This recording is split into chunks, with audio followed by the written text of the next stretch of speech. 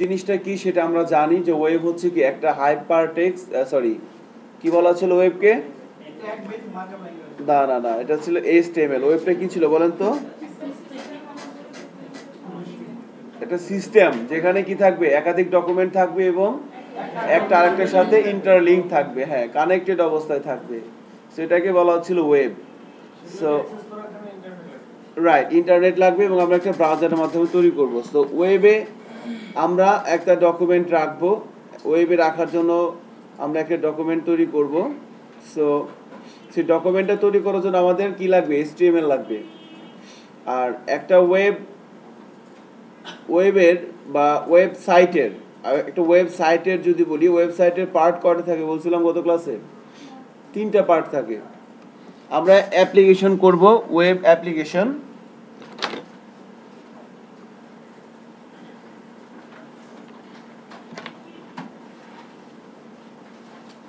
গতকালকে সন্ধ্যায় যে ক্লাসটা হয়েছে না, ওরা এইচটিএমএল সিএসএস দিয়ে ইকুয়ালাইজার বানাইছে। আপনারা অনেক সময় দেখেন না?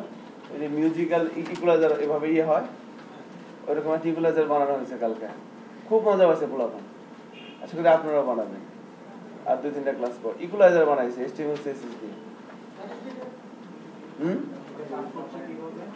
কাজ করছে মানে কাজ করতেছে। মানে জাস্ট এগুলো যেভাবে ইয়ে করে না এভাবে এই যে মুভ ডাউন করে এখানে একটা পিকচার আঁকা ছিল এটা আর কি।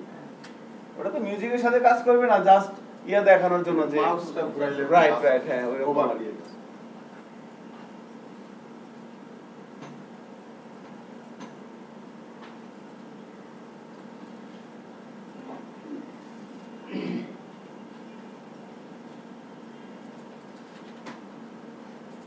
যদি হয় সো অ্যাপ্লিকেশন ডেভেলপমেন্ট করব আমরা পিএসপি দিয়ে বাট সেই অ্যাপ্লিকেশনটা ডেস্কটপ বেস হবে না, হবে ওয়েব বেস সো ওয়েবে রাখার জন্য ওয়েব সম্পর্কে কনসেপ্ট করতেছিলাম। সো ওয়েবে আমরা যা কিছুই রাখব, রাখতে চাই, সেটাকে আমাকে একটা কি, একটা ডকুমেন্ট আকারে রাখতে হবে ওয়েব পেজ আকারে ওয়েব সাইট তৈরি করে রাখতে হবে, তাই না? সো ওয়েবসাইট তৈরি করতে হবে আমাদের। ওয়েবসাইট তারপরে এর উপর আমাদের প্রোগ্রামিং করতে হবে, পিএসপি দিয়ে। তাহলেই সেটা একটা অ্যাপ্লিকেশন হবে। সো ওয়েবসাইটের একটা ওয়েবসাইটের তিনটা পার্ট থাকে। একটা হইতেছে স্ট্রাকচার এবং কন্টেন্ট স্ট্রাকচার এন্ড কন্টেন্ট আরেকটা পার্ট থাকে হইতেছে হ্যাঁ? প্রেজেন্টেশন আরেকটাকে বলা আছে বিহেভিয়ার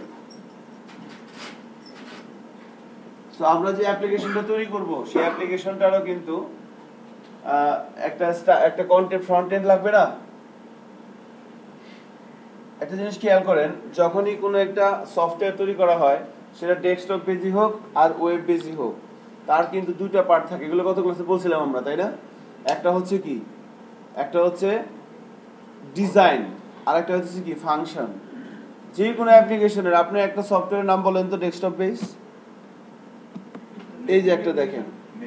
এই যে Debut Debut video capture software professional এটা একটা ডেস্কটপ বেস সফটওয়্যার এই সফটওয়্যারটার মধ্যে দুইটা বিষয় আছে। একটা হলো এই যে এখানে দেখেন না, একটা ডিজাইন আছে। এখানে যে কিছু মেনু আছে। মানে এই সফটওয়্যারটা তৈরি করার জন্য দুইটা জিনিস লাগছে। একটা হচ্ছে এর একটা ডিজাইন আছে না? ডিজাইনটা লাগছে। এরপরে কি করতে হয়েছে? এরপর এর মধ্যে ফাংশন ইমপ্লিমেন্ট করতে হয়েছে। ফাংশন কেমন? এখানে ক্লিক করলে রেকর্ডিং শুরু হবে। এখানে আবার অফ করলে হবে। আবার এখানে বিভিন্ন কিছু অপশন আছে। সো এগুলো কি? এগুলো হচ্ছে ফাংশন আর আর এটা কি? এটা হচ্ছে ডিজাইন সো ওয়েব বেজি হোক আর ডেস্কটপ বেজি হোক যেই কোনো সফটওয়্যারের পার্ট কয়টা? দুইটা। একটা হচ্ছে ডিজাইন আর একটা হচ্ছে ফাংশন সো আমরা তো ফাংশন ডেভেলপমেন্ট করব ইউজিং পিএসপি বাট আমরা ডিজাইনটা আগে ইয়ে করতে চাচ্ছি। সো মানে ডেভেলপ করতে চাচ্ছি আর কি। তাই না? এটাই তো, নাকি? সো ডিজাইনটা আমরা করতে চাচ্ছি আমাদের অ্যাপ্লিকেশনের সো আমাদের অ্যাপ্লিকেশনে যেহেতু ওয়েব হবে, তাহলে আমাদের ওয়েবের ডিজাইনটা করতে হবে বা ওয়েব সাইটের ডিজাইনটা করতে হবে। সো ওই ডিজাইনের তিনটা পার্ট আছে। আমরা যে ডিজাইনটা করতে অ্যাপ্লিকেশন তৈরি করব ডিজাইনটা আগে ডিজাইনের তিনটা পার্ট একটা হচ্ছে কি? স্ট্রাকচার এবং কন্টেন্ট আরেকটা হচ্ছে প্রেজেন্টেশন আরেকটা হচ্ছে বিহেভিয়ার তিনটা পার্ট স্ট্রাকচার এবং কন্টেন্ট প্রেজেন্টেশন আরেকটা হচ্ছে বিহেভিয়ার সো স্ট্রাকচার এবং কন্টেন্টটা আমরা হ্যান্ডেল করব হচ্ছে পিস ইয়া এসটিএমএল দিয়ে। আর প্রেজেন্টেশনটা আমরা কন্ট্রোল করব সিএসএস দিয়ে, আর বিহেভিয়ারটা কন্ট্রোল করব আমরা জেএস দিয়ে। সো এই প্রত্যেকটা বিষয় সম্পর্কে কিন্তু আমরা আলাদা আলাদা আপনাদেরকে ইনফরমেশন দেওয়ার চেষ্টা করব। সো প্রথমে স্ট্রাকচার এবং কন্টেন্টটা আমরা যে সফটওয়্যারটা তৈরি করব, তার স্ট্রাকচার এবং কন্টেন্টটা আমরা HTML দিয়ে তৈরি করব। তারপর তার প্রেজেন্টেশনটা এখন একটা অ্যাপ্লিকেশন তৈরি করলেন। তার লুকটা যদি খারাপ হয় তাই না? একটা খাবার আপনাকে দেওয়া হলো সেটার যদি প্রেজেন্টেশনটা খারাপ হয় আপনি খাবেন ইনশাল্লাহ তাই না? কেন? খাবার কিন্তু অনেক ভালো। স্যার তাহলে ওই চোখে রঙিন চশমা দিয়ে দিতে হবে। রঙিন চশমা দিয়ে দিতে হবে। সো প্রেজেন্টেশনটা কিন্তু অনেক বড় বিষয়। এটার অনেক প্র্যাকটিক্যাল এক্সাম্পল আমাদের কাছে আছে। আমি একটা সফটওয়্যারের ইয়েতে কাজ করতেছিলাম। অনেক আগে একটা কোম্পানিতে সো তখন কিন্তু সেখানে ওই হক গ্রুপের নাম শুনছেন না সবাই? Haque Group of Industries. So দুই হাজার এগারো বারোর দিকে আমি একটা সফটওয়্যার ফার্মে ছিলাম। সো তখন কিন্তু সেখানে ওই হক গ্রুপের একটা এইচআর অ্যান্ড পে রোল সফটওয়্যারের কাজ চলতেছিল। সেখান থেকে কিন্তু একটা বিষয় হয়ে দেওয়া আছে। যে ওরা ওই, আমি যে কোম্পানিতে ছিলাম, ওই কোম্পানি হক গ্রুপের এইচআর এর সফটওয়্যার কাজটা পাইছিল আর কি।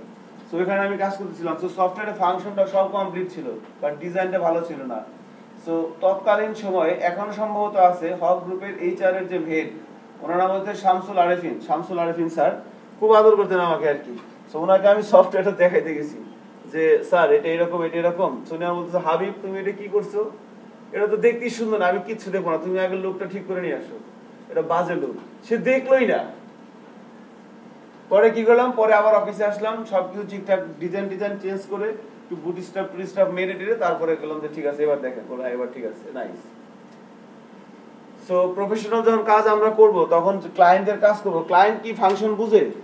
ক্লায়েন্ট বুঝে খালি চেহারা। যার চেহারা যত সুন্দর। সো এই জন্য কি প্রেজেন্টেশনটা অনেক ইম্পর্টেন্ট এরপরে বিহেভিয়ার বিহেভিয়ারটাও কন্ট্রোল করা জাভাস্ক্রিপ্ট দিয়ে। ইউজারের সাথে ইন্টারঅ্যাক্ট করা আর কি।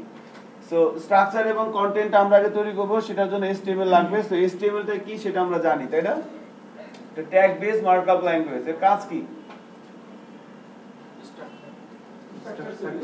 কোনো কিছু ওয়েবে বলা ওয়েবের স্ট্রাকচার তো কি?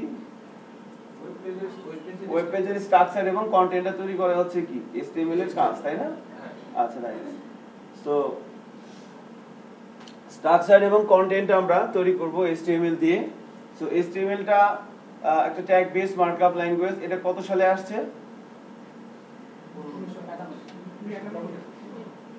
উনিশশো একানব্বই সালের দিকে টিম বার্নার্লি উনি এটা নিয়ে আসছে আর কি। প্রথম HTML ভার্সন ওয়ান আকারে আসে। তো HTML যেহেতু একটা ট্যাগ বেস মার্কআপ ল্যাঙ্গুয়েজ কতগুলো ট্যাগ আছে?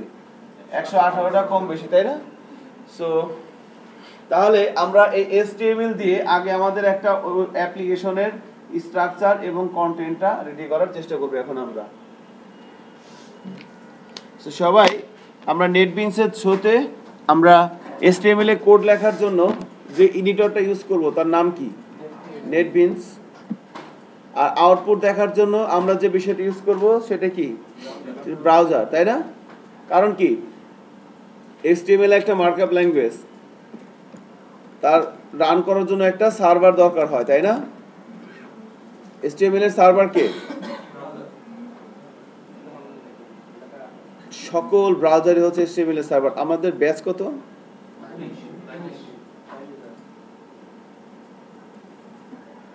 আচ্ছা আমরা কাজ করি রে।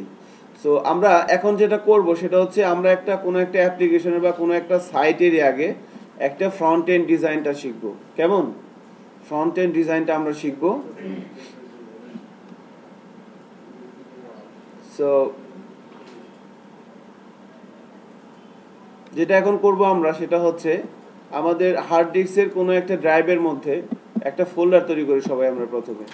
একটা ফোল্ডার তৈরি করেন সিম্পলি আমি এই ফোল্ডারটার নাম দিলাম ACIP PHP nineteen ACIP PSP nineteen নামের আমি একটা ফোল্ডার তৈরি করলাম।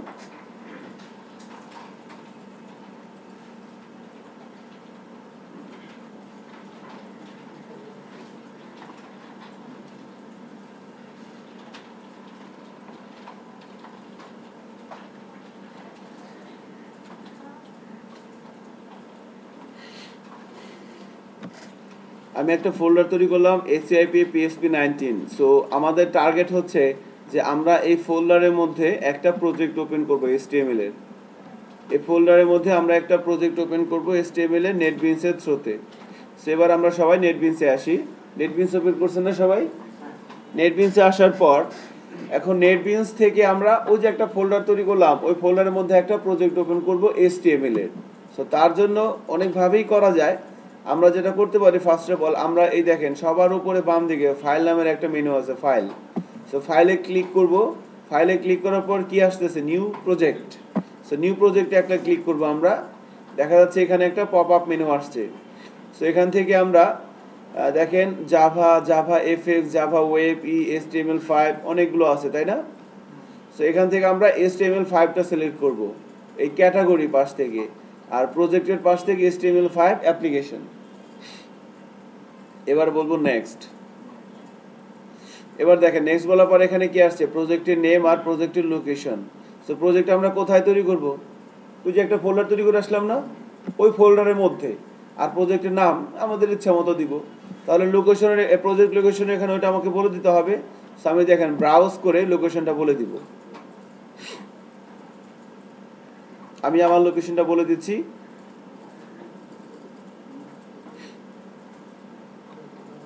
এসিআইপি পিএসপি নাইনটিন আর ওই ফোল্ডারের মধ্যে প্রজেক্টের নামটা কি হবে? আমি প্রজেক্টের নামও এটাই দিয়ে দিলাম। এসিআইপি পিএসপি নাইনটিন আমি প্রজেক্টের নাম ওইটা দিয়ে দিলাম। এবার বলে দিলাম ফিনিশ তাহলে ওই ফোল্ডারের মধ্যে এসিআইপি পিএসপি নাইনটিন নামের একটা প্রজেক্ট ওপেন হয়ে যাওয়ার কথা না? চেক করি। এই যে আমাদের ফোল্ডারটা ছিল এসিআইপি পিএসপি নাইনটিন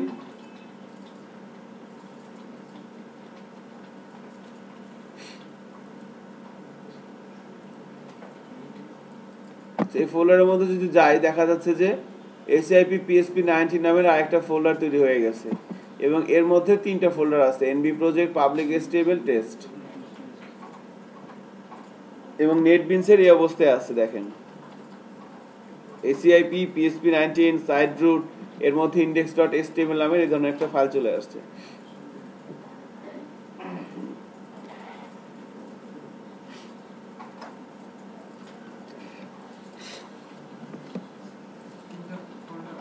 তিনটা ফোল্ডার আসছে না। আর নেটবিনসের মধ্যে এই যে দেখেন পিএসপি ব্যাস নাইনটিন সাইড রুটের মধ্যে ইন্ডেক্স ডট এসটিএমএল এখানে একটা ফাইল চলে আসছে ইন্ডেক্স ডট এস এসটিএমএল এভাবে। সো এই জিনিসটা আমাদের সবার হয়েছে? যদি হ্যাঁ ভেরি গুড একটু বলতে হবে আর কি কার হচ্ছে না। আপনারা আরও যে একবার একটা ফোল্ডারের মধ্যে, তখন আমরা নেটবিনসের উইন্ডোজের মধ্যে দেখতে পাচ্ছি এই ধরনের একটা স্ট্রাকচার চলে আসছে ডিফল্ট আর ফোল্ডারের মধ্যে যদি যাই, এখানে দেখা যাচ্ছে যে এখানে তিনটা ফোল্ডার চলে আসছে। NB project public HTML test so test এই ফোল্ডারটা বাই ডিফল্ট তৈরি হয়, এর কোনো কাজ নাই। একে ডিলিট করে দিলেও কোনো প্রবলেম নাই। পাবলিক এসটিএমএল অ্যাকচুয়ালি এটার মধ্যে আমাদের মেন কাজ করতে হবে। সো আমরা যদি কখনো বলি যে আপনাদের প্রজেক্টের রুটে যান, আমরা সবাই কিন্তু পাবলিক এসটিএমএল এ চলে আসব। এখানে যে ইন্ডেক্স ডট এসটিএমএল ফাইলটা দেখতে পাচ্ছি আমরা, এই ফাইলটাই কিন্তু নেটবিনসের এখানে এই যে ইন্ডেক্স ডট এসটিএমএল এটা এখানে দেখা যাচ্ছে।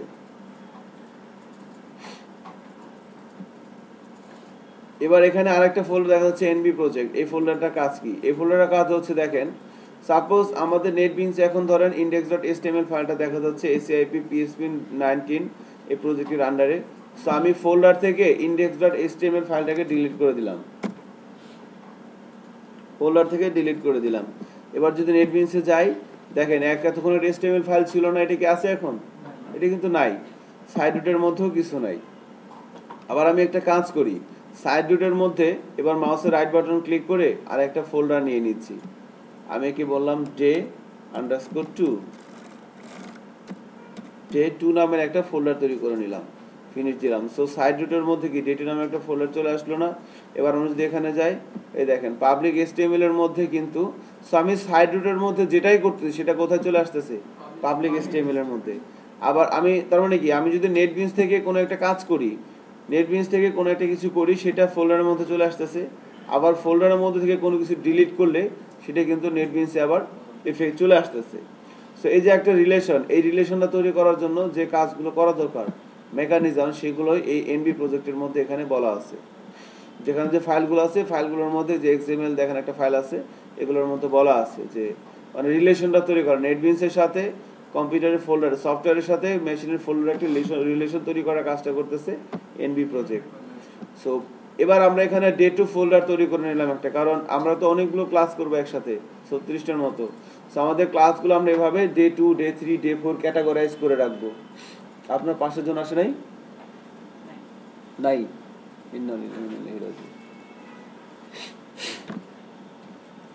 সো আমরা ইন্ডেক্স ডট এসটিএমএল ফাইলটাকে ডিলিট করে দিয়ে একটা ফোল্ডার তৈরি করে নিলাম ডে টু এবার ডে টুর মধ্যে আমরা মাউস রেখে মাউসের রাইট বাটন ক্লিক করে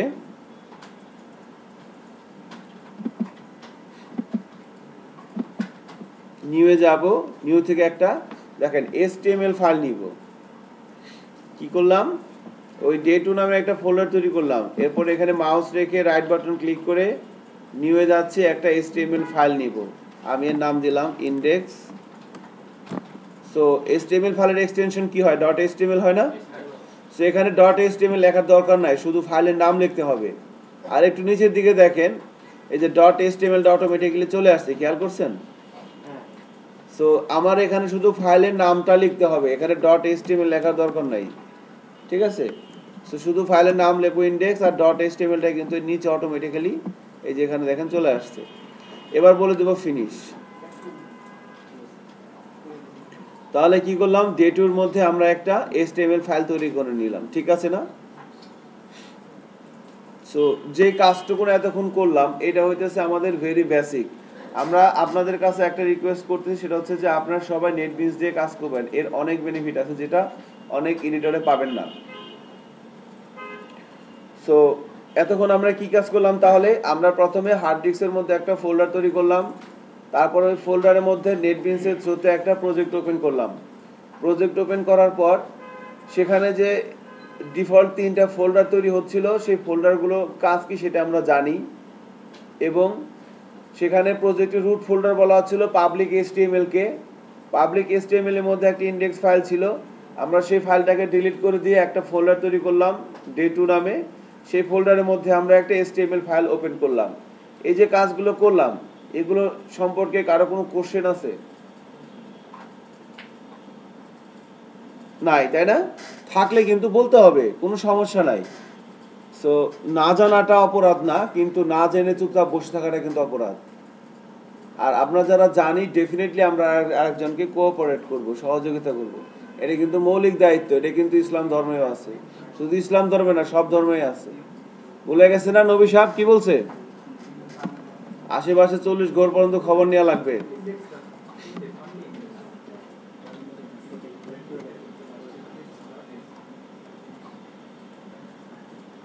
আচ্ছা।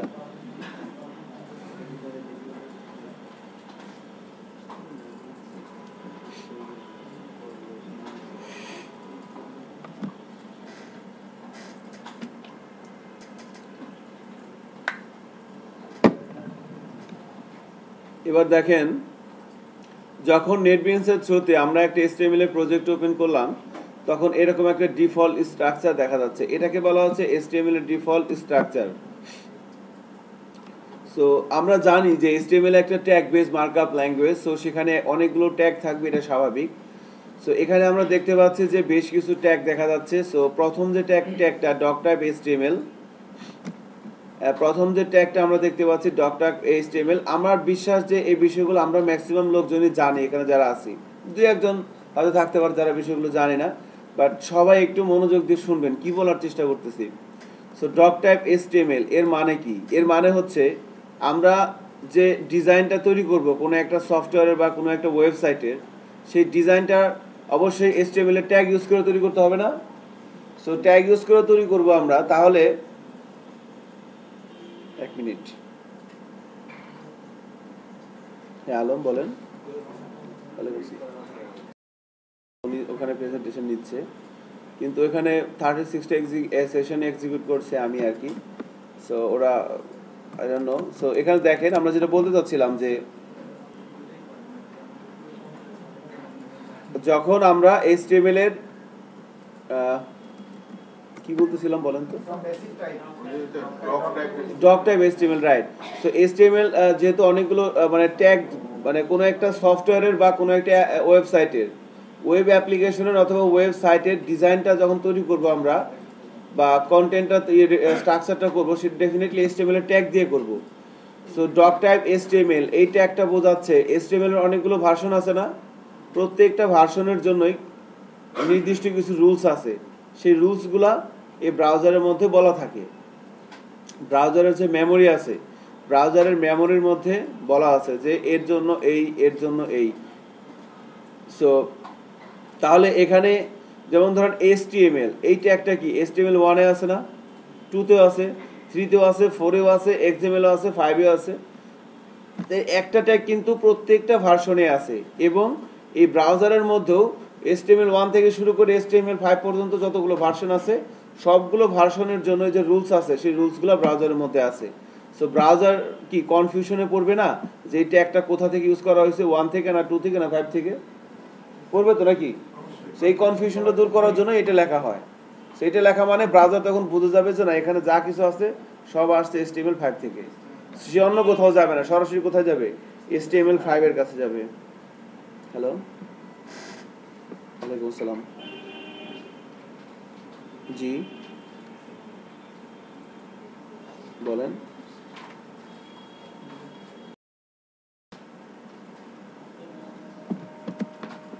আমাদের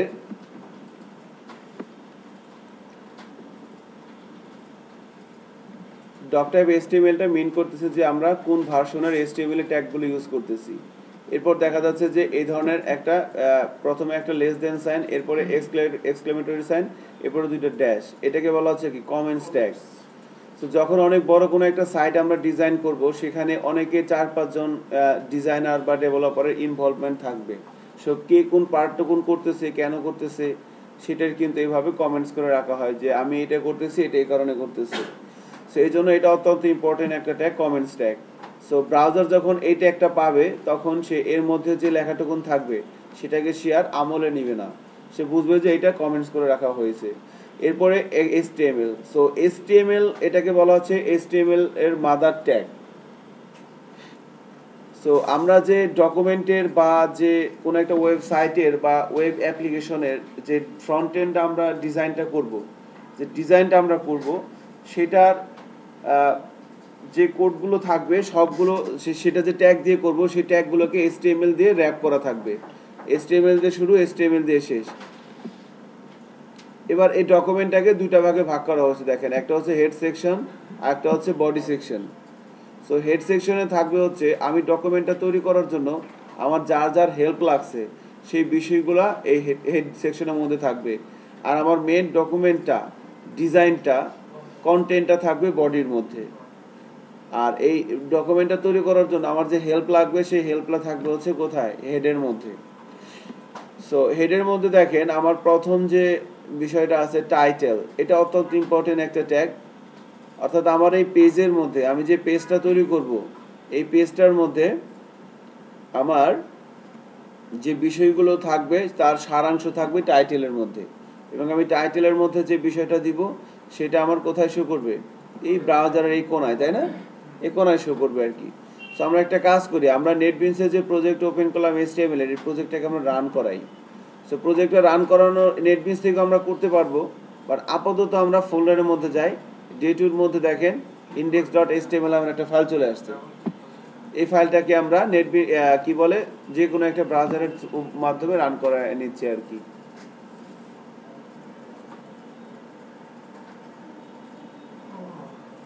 চলে আসছে এরকম। দেখেন, এখানে আসছে কি টু ডু সাপ্লাই টাইটেল আর বডির মধ্যে লেখা আসছে কি to do right a content so to do supply title এটা কোথা থেকে আসছে? এটা কিন্তু এই যে টাইটেল থেকে আসছে আমার এটা হচ্ছে আমার কোড আর এটা হচ্ছে আমার আউটপুট সো এই কোডের মধ্যে দেখেন টাইটেলের মধ্যে টু ডু সাপ্লাই টাইটেল এই কথাটাই কিন্তু আমরা এই যেখানে উপরে দেখা যাচ্ছে ব্রাউজারের উপরে। সো আমরা একটা কাজ করি, প্রথমে আমরা টাইটেলটা এখান থেকে চেঞ্জ করে আমরা টাইটেলটা বলে দিই হোম টাইটেলটা বলে দিচ্ছি হোম এবার সেভ করি। সেভ করে আমরা ব্রাউজারে যাচ্ছি ব্রাউজারে যা রিলোড দেই। দেখেন, আমার টাইটেলটা চেঞ্জ হয়ে হোম হয়ে গেছে না? হোম হয়ে গেছে কিন্তু।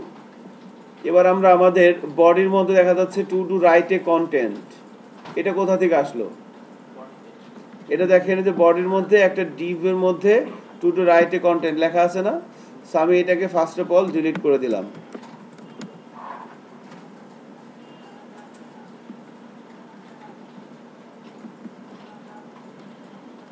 ডিলিট করে দিলাম। এবার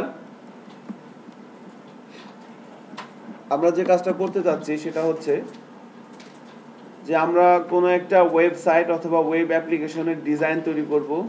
এবং সেখানে কিছু কন্টেন্টও থাকবে। সো যে কোনো ডকুমেন্টের ডিজাইনের বা অ্যাপ্লিকেশনের ফার্স্টে একটা স্ট্রাকচার থাকে না? দেখেন এই যে ডিবার যে সফটওয়্যারটা যে আমরা রেকর্ডিং করতেছি, এই সফটওয়্যারটার কিন্তু একটা স্ট্রাকচার আছে না? এই স্ট্রাকচারটা আগে তৈরি করা হয়। তারপর এর মধ্যে যে file screen capture effect view tools help এগুলো কি এক একটা কন্টেন্ট এই কন্টেন্টগুলো তারপরে বসানো হয়। অর্থাৎ আগে স্ট্রাকচার তৈরি করতে হয়। সো আমরাও একটা ডকুমেন্ট তৈরি করব বাট সবার আগে আমরা একটা স্ট্রাকচার তৈরি করব।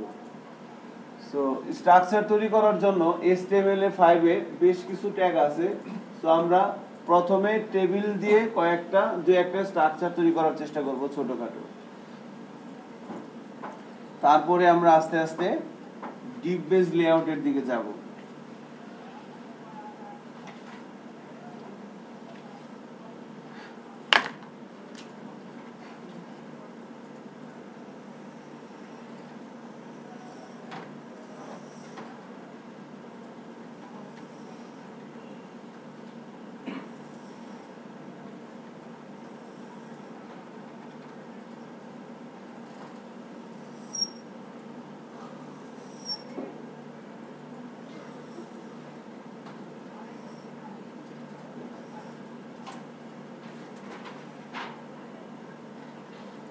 আমরা এই ধরনের একটা লেআউট তৈরি করার চেষ্টা করব। এখন টেবিল দিয়ে?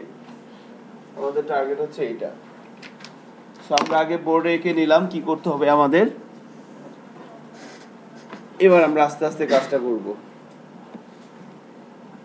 সো বডির মধ্যে যা ছিল সব ডিলিট করে দিলাম। আর এই কমেন্টসটা আমরা রাখতে চাচ্ছি না। এই যে ডক টাইপ এইচটিএমএল নিচে কমেন্টসটা আমরা রাখতে চাচ্ছি না। এই কমেন্টসটা আমরা এখান থেকে ডিলিট করে দিলাম। হ্যাঁ রাইট এখানে আর দুটি ইম্পর্টেন্ট ট্যাগ আছে যেটা হয়তো আমাদের বলা হয় নাই। দেখেন টাইটেলের পরে কি আছে? মেটা ট্যাগ আছে না? তো মেটার মধ্যে এখানে কি আছে? Character set is equal to UTF eight হ্যাঁ ইউনিকোড সো এই মেটার পরে এখানে ক্যারেক্টার সেট যে বিষয়টা দেখতেছেন না, এটাকে বলা হচ্ছে অ্যাট্রিবিউট এটার নাম হচ্ছে অ্যাট্রিবিউট সো অ্যাট্রিবিউট কি? কোনো একটা HTML ট্যাগের অ্যাডিশনাল ইনফরমেশন অতিরিক্ত তথ্য প্রোভাইড করে কে? অ্যাট্রিবিউট ধরেন, আমরা ব্রাউজারে একটা কিছু নিয়ে আসতে যাচ্ছি, কোনো একটা কন্টেন্ট সো আমরা কোনো একটা ট্যাগ ইউজ করলাম like P paragraph tag P tag use করে কোনো একটা কন্টেন্ট আমরা শো করালাম। এবার আমরা যদি তার আরও অতিরিক্ত ওই কন্টেন্টটার ওই কন্টেন্টটার একটা নির্দিষ্ট ইনফরমেশন কিন্তু ওইটা একটা প্রোভাইড করতেছে। বাট আমি যদি আরও কিছু ইনফরমেশন চাই, তাহলে কিন্তু সেখানে আমাকে অ্যাট্রিবিউট ইউজ করতে হবে। অর্থাৎ, ধরেন আমি এখানে লিখলাম এইচ ওয়ান এটা কি বলেন তো? হেডিং ট্যাগ হেডিং ট্যাগ আমরা জানি। এখানে আমরা কিছু একটা লিখলাম সাম ব্যাকস্ল্যাশ এইচ ওয়ান এখন তাহলে আউটপুটে কেমন আসবে? একটু বড় আকারে আসবে। হেডিংটা একটু বড় হয় সাধারণত, তাই না? সো এবার আমি এটাকে, এটা, তাহলে এটার বেসিক ইনফরমেশন কি? লেখাটা একটু বড় আসবে। আমি যদি এটার আরও কিছু ইনফরমেশন প্রোভাইড করতে চাই, তাহলে আমাকে অ্যাট্রিবিউট ইউজ করতে হবে। Attribute provide additional information about a tag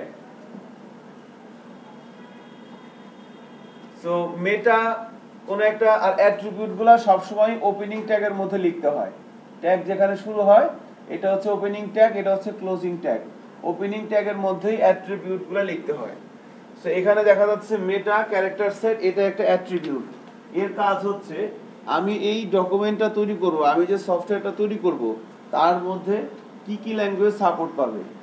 so character সেটের মধ্যে যদি এটা একটা কোড এই কোডটা মানে হচ্ছে যত ধরনের ল্যাঙ্গুয়েজ পৃথিবীতে আছে, সব সাপোর্ট পাবে।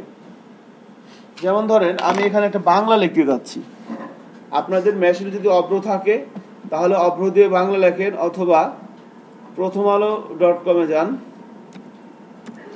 দেখেন প্রথম আলো ডট কম থেকে আমি কিছু বাংলা লেখা এখানে নিয়ে আসতে চাচ্ছি।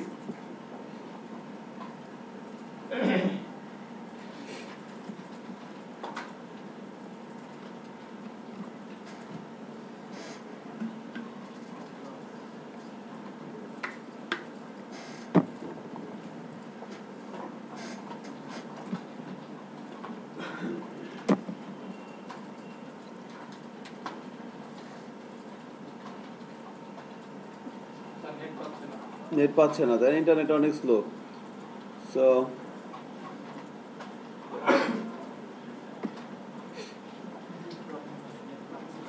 আমি পাচ্ছি অনেকক্ষণ পরে। কোন একটা বাংলা লেখা আপনারা এখানে লেখেন। জাস্ট বডির মধ্যে কোন একটা বাংলা লেখা সিম্পলি লেখেন। এই যে পাওয়া যাচ্ছে, তিন ব্যাংকে কার্ড জালিয়াতি। জড়িত একাধিক বিদেশি।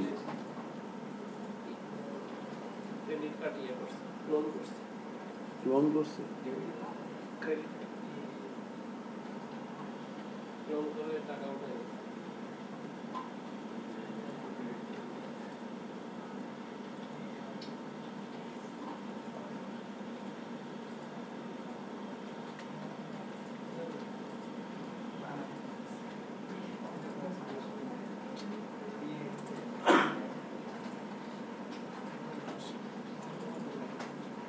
আচ্ছা সো বার্সার জয়? কি করছে? আপনারা ফুটবল খেলা দেখেন না? কোন কি? কে দেখেন না? দেখেন না? ভেরি গুড সো ফুটবল খেলা হ্যাঁ? সো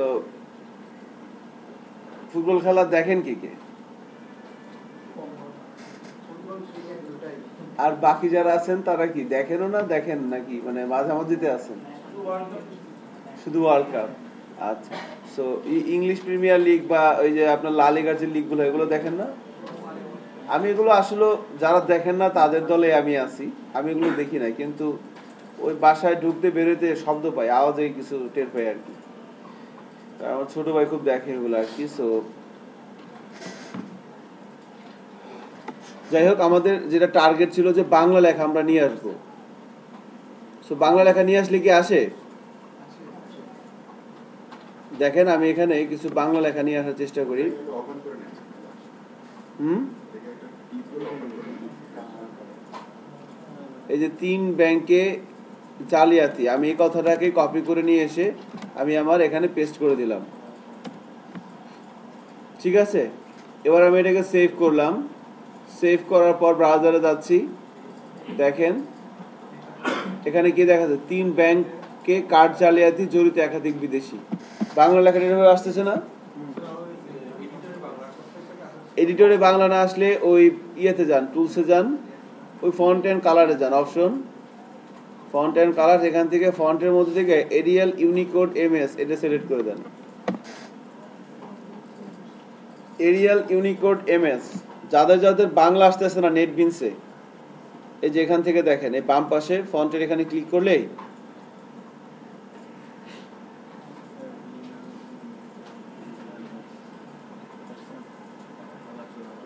আসে? আচ্ছা আসুক, সমস্যা নাই। সো হ্যাঁ। হ্যাঁ টুলসে যাবেন টুলস থেকে যাবেন অপশনে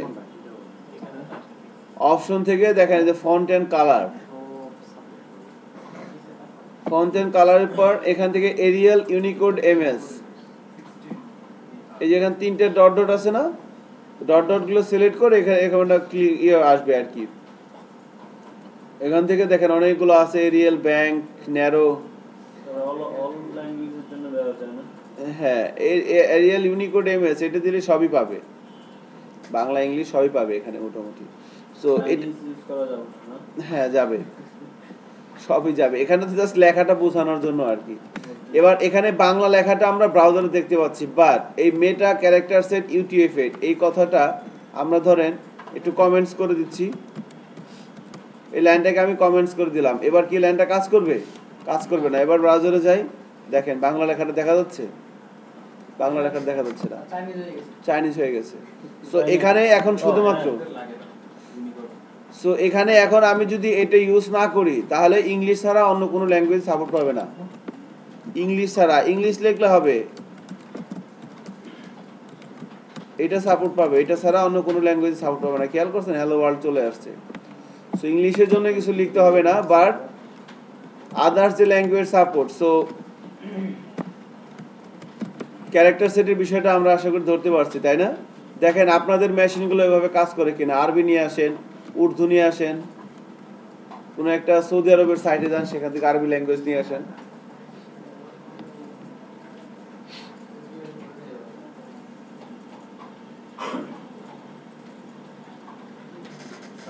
হ্যাঁ। কমেন্ট করলাম হচ্ছে আগে সিলেক্ট করলাম পুরোটা। পুরোটা সিলেক্ট করার পর শিপ চেপে ধরেন। শিপ চেপে ধরে ওই যে সরি কন্ট্রোল চেপে ধরেন। ওই যে ব্যাক স্ল্যাশ বা ওই যে হোয়াটস আছে না একটা? ওটা। ওটা ক্লিক করলে কমেন্টস হবে আবার ক্লিক করলেও কমেন্টস হবে না।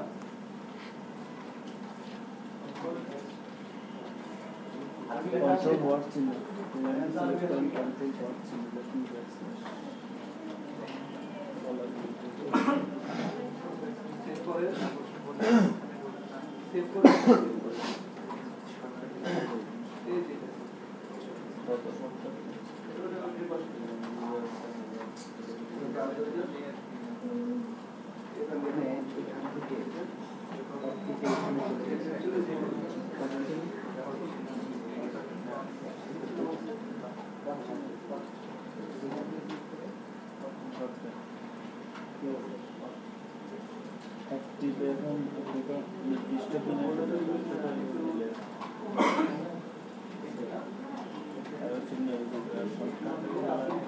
Gracias.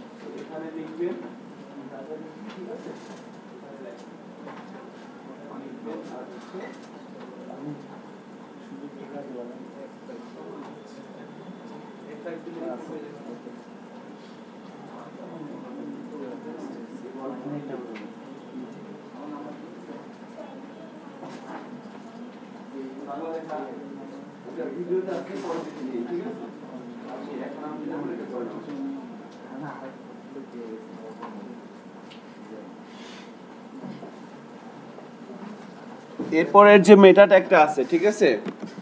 আমাদের সেকেন্ড যে মেটা ট্যাগটা আছে, এটাকে এখানে বলা হচ্ছে, এটা আমাদের এখন দরকার হবে না রেসপন্সিভ ডিজাইনের জন্য।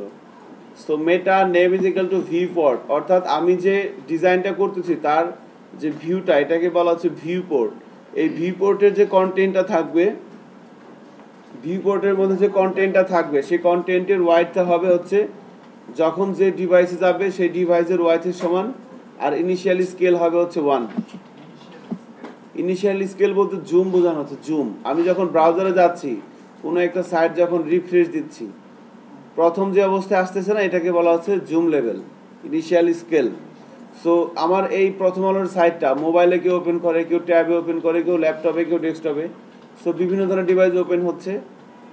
সো ওই ডিভাইসের যে এখানে বলা হচ্ছে meta name is equal to viewport অর্থাৎ আমার ডিভাইসের আমার ডকুমেন্টের যে ভিউ পোর্টটা আমার ডকুমেন্টটা হচ্ছে কি? প্রথম আলো ডট কম এই প্রথম আলো ডট কমের এখানে ভিউ পোর্ট অর্থাৎ আমি যেটা দেখতেছি, এটাকে বলা হচ্ছে কি? ভিউ পোর্ট প্রথম আলো ডট কমের ভিউ পোর্টটা যে কন্টেন্ট অর্থাৎ ভিউ পোর্টের মধ্যে এখানে যে কন্টেন্টগুলো আছে, এই কন্টেন্টগুলোর ওয়াইড ওয়াইড কেমন হবে? ডিভাইসের ওয়াইডের সমান। যখন যে ডিভাইস যাবে, তখন সেই ডিভাইসের ওয়াইডের সমান হয়ে যাবে। ট্যাবে আসলে ট্যাবের ডিভাইসের ওয়াইডের সমান মোবাইলে আসলে মোবাইল এরপরে ইনিশিয়াল স্কেল অর্থাৎ প্রথম যখন রিলোড দেওয়া হবে জুম লেভেল কত হবে? একশো। একশো মানে হচ্ছে কি? ওয়ান হান্ড্রেড পার্সেন্ট মানে হচ্ছে ওয়ান এই জন্য এটাকে বাড়াই দেওয়া যায় কমাই দেওয়া যাবে। তবে হান্ড্রেড পার্সেন্ট রাখাটা একটু ওয়াইজ না। এই দেখেন, এখানে যান। এই যে ব্রাউজারে আসলাম আমরা।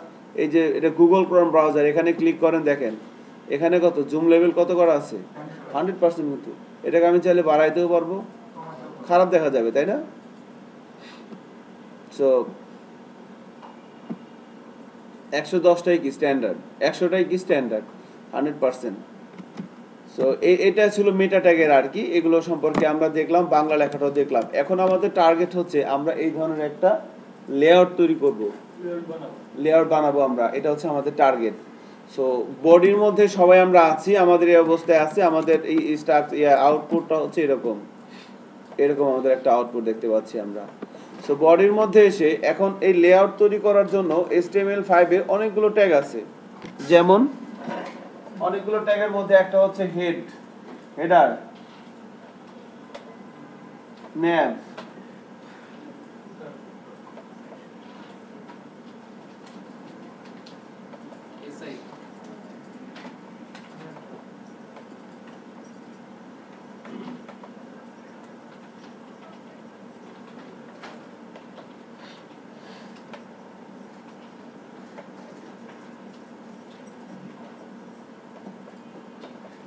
এগুলোকে বলা হচ্ছে HTML5 এর layout tag actually table tag এখানে বলা যায় না।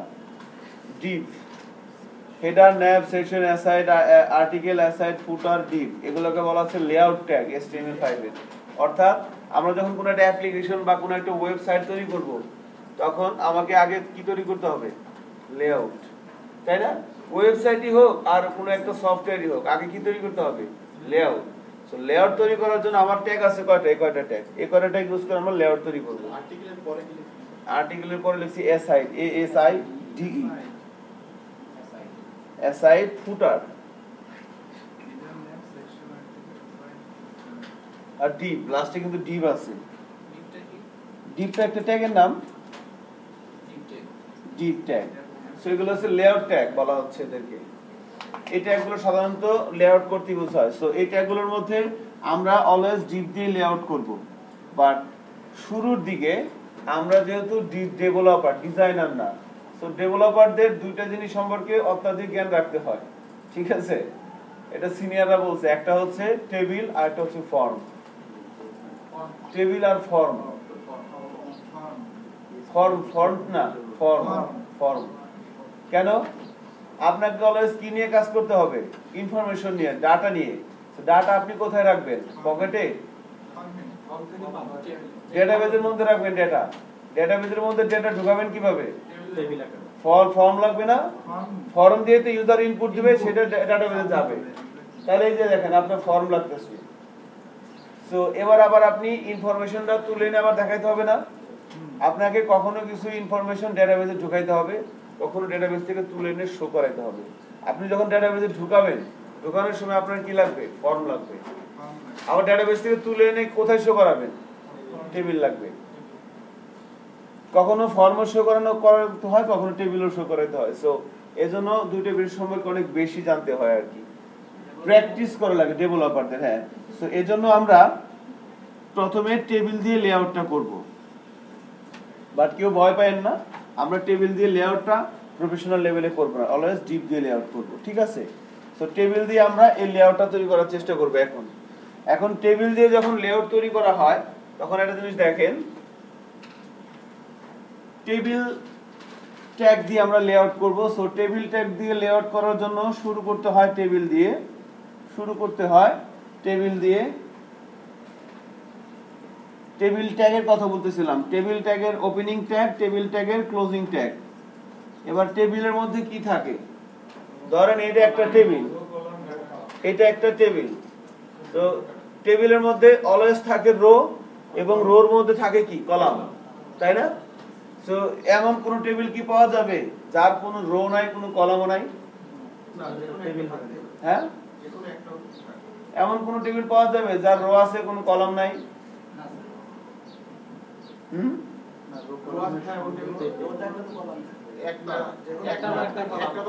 একটারও একটা কলাম থাকবে, এটা ছাড়া কি সম্ভব? টেবিল মানে কি? একটারও একটা কলাম, মিনিমাম। তাই না? মিনিমাম, যখন টেবিল শেপে আসবে। আমি যদি এটাকে একটা টেবিল বলি, এখানে রো কয়টা? এই যে একটা রো আর কলাম কয়টা? একটা কলাম। সো একটারও একটা কলাম না থাকলে সেটা কি টেবিল হবে? আমি চাইলে বাড়াইতে পারি, কমাইতে পারি। সো আমরা যদি তাহলে টেবিল মানে একটারও একটা কলাম, তাহলে এইটাকে যদি বলি, তাহলে টেবিলের মধ্যে রো থাকে, কলাম থাকে। সো রো কে রিপ্রেজেন্ট করার জন্য ইউজ করা হয় টিআর টিআর দিয়ে শুরু করতে হয় টিআর দিয়ে শেষ করতে হয় টিআর আর রোর কলামগুলো কি অলওয়েজ রোর মধ্যে থাকে? টেবিলের মধ্যে থাকে রো রোর মধ্যে থাকে হচ্ছে কলাম। কলামকে রিপ্রেজেন্ট করার জন্য ইউজ করা হয় টিডি টিডি দিয়ে শুরু করতে হয় টিডি দিয়ে শেষ করতে হয়। এটা হচ্ছে টেবিলের বেসিক স্ট্রাকচার টেবিল দিয়ে অনেক কিছু করা যায় বাট এটা হচ্ছে ভেরি বেসিক লেভেল ঠিক আছে? সো টেবিল দিয়ে শুরু করলাম, টেবিল দিয়ে শেষ করলাম। টেবিলের মধ্যে থাকে, আমরা জানি মিনিমাম একটা রো একটা কলাম থাকবেই, নাহলে টেবিলে হবে না। সো রো কে রিপ্রেজেন্ট করার জন্য ইউজ করা হয় টিআর আর রোর মধ্যে থাকবে কি? কলাম কলামকে রিপ্রেজেন্ট করার জন্য ইউজ করতে হয় টিডি টিডি দিয়ে শুরু করতে হয় টিডি দিয়ে শেষ করতে হয়। এবার আমরা যদি আমাদের এখানে যে লেআউটটা আছে এই লেআউটটাকে যদি আমরা এই লেআউটটাকে যদি আমরা একটা টেবিলের সাথে কল্পনা করি তাহলে বলেন তো কি বলে আমরা কি বলতে পারি? এখানে রো আছে কয়টা? এক দুই তিন চার। চারটা রো আর কলামের কি অবস্থা? প্রথম রোতে দুইটা দ্বিতীয় রোতে কলাম কয়টা? তৃতীয় রোতে তিনটা চতুর্থ রোতে আবার কিন্তু একটা। একটা। তার মানে এটা একটা টেবিল, যার মধ্যে রো আছে চারটা। প্রথম রোতে কলাম দুইটা, দ্বিতীয় রোতে কলাম একটা, তৃতীয় রোতে কলাম তিনটা, চতুর্থ রোতে কলাম একটা। আমরা জানি, টেবিল টেবিল দিয়ে শুরু করতে হয় টেবিল দিয়ে শেষ করতে হয়। টেবিলের মধ্যে থাকে কি রো? রোর জন্য কি টিআর? আর কলামের জন্য টিডি? তাহলে টেবিল দিয়ে শুরু করলাম, টেবিল দিয়ে শেষ করলাম। রো হবে কয়টা? চারটা। তার মানে টিআর হবে কয়টা? একটা টিয়ার দুইটা টিয়ার তিনটে টিয়ার চারটে টিয়ার প্রথম টিয়ারের মধ্যে টিয়ার দিয়ে শুরু, টিয়ার দিয়ে শেষ। এ পুরোটা মিলে কি? একটা টিয়ার। টিয়ার দিয়ে শুরু, টিয়ার দিয়ে শেষ, দুইটা টিয়ার। তাহলে এই এই টিয়ারের মধ্যে টিডি থাকবে কয়টা? এই টিডি একটা, এখানে তিনটে, এখানে একটা। সেভাবে করেন তো। হ্যাঁ তা নিয়ে হ্যাঁ তা নিয়ে বলেন।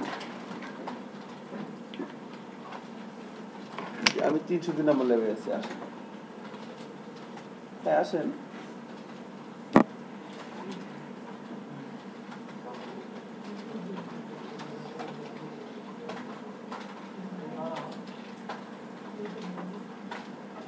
কি অবস্থা তানিয়া? হ্যাঁ আপনি ভালো আছেন? আমরা তো অনেকদিন পর দেখলাম। কি অবস্থা বলে আমি ব্লগ সেট করতেছেন? জি স্যার আর স্যার কোডিনেটরটা স্যার শিখা স্টার্ট করে দিচ্ছি স্যার ইনশাআল্লাহ সেই মাসে নিজে নিজে শিখতে sir. Good very good YouTube থেকে স্যার দেখে করতেছি। আর শুরু রহমান স্যার ভিডিওগুলো স্যার ইউটিউবে আছে স্যার। সমস্যা নেই আপনি শুরু করে দেন। কোনো প্রবলেম হলে কোনো প্রবলেম হলে বলেন। মানে ওটা আমি স্যার কল করে স্যার কারণ কি স্যার জন্য হ্যাঁ এটা হচ্ছে যে আপনাকে ধরেন যে সফটওয়্যার কোম্পানিগুলো আছে যেটা করবেন সেটা হচ্ছে যে গুগলে সার্চ দিবেন সফটওয়্যার কোম্পানি লিস্ট বাংলাদেশ আর সবার অ্যাড্রেস বের করবেন। অ্যাড্রেস বের করে আর ডিরেক্ট সিবি দিয়ে আসতে হবে। দিয়ে স্যার স্যার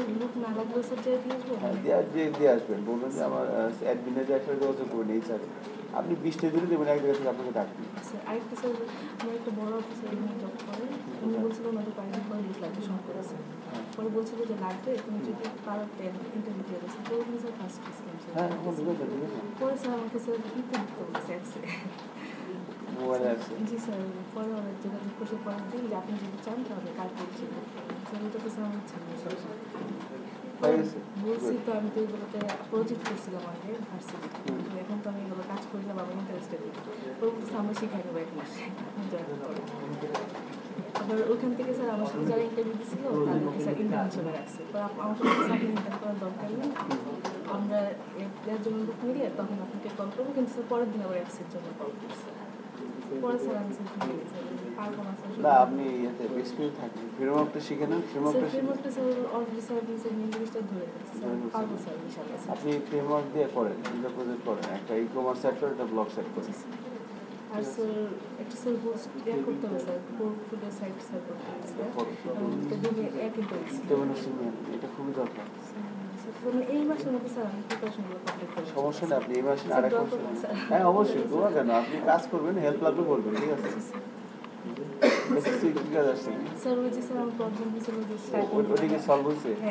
হ্যাঁ আচ্ছা congratulation thank you sir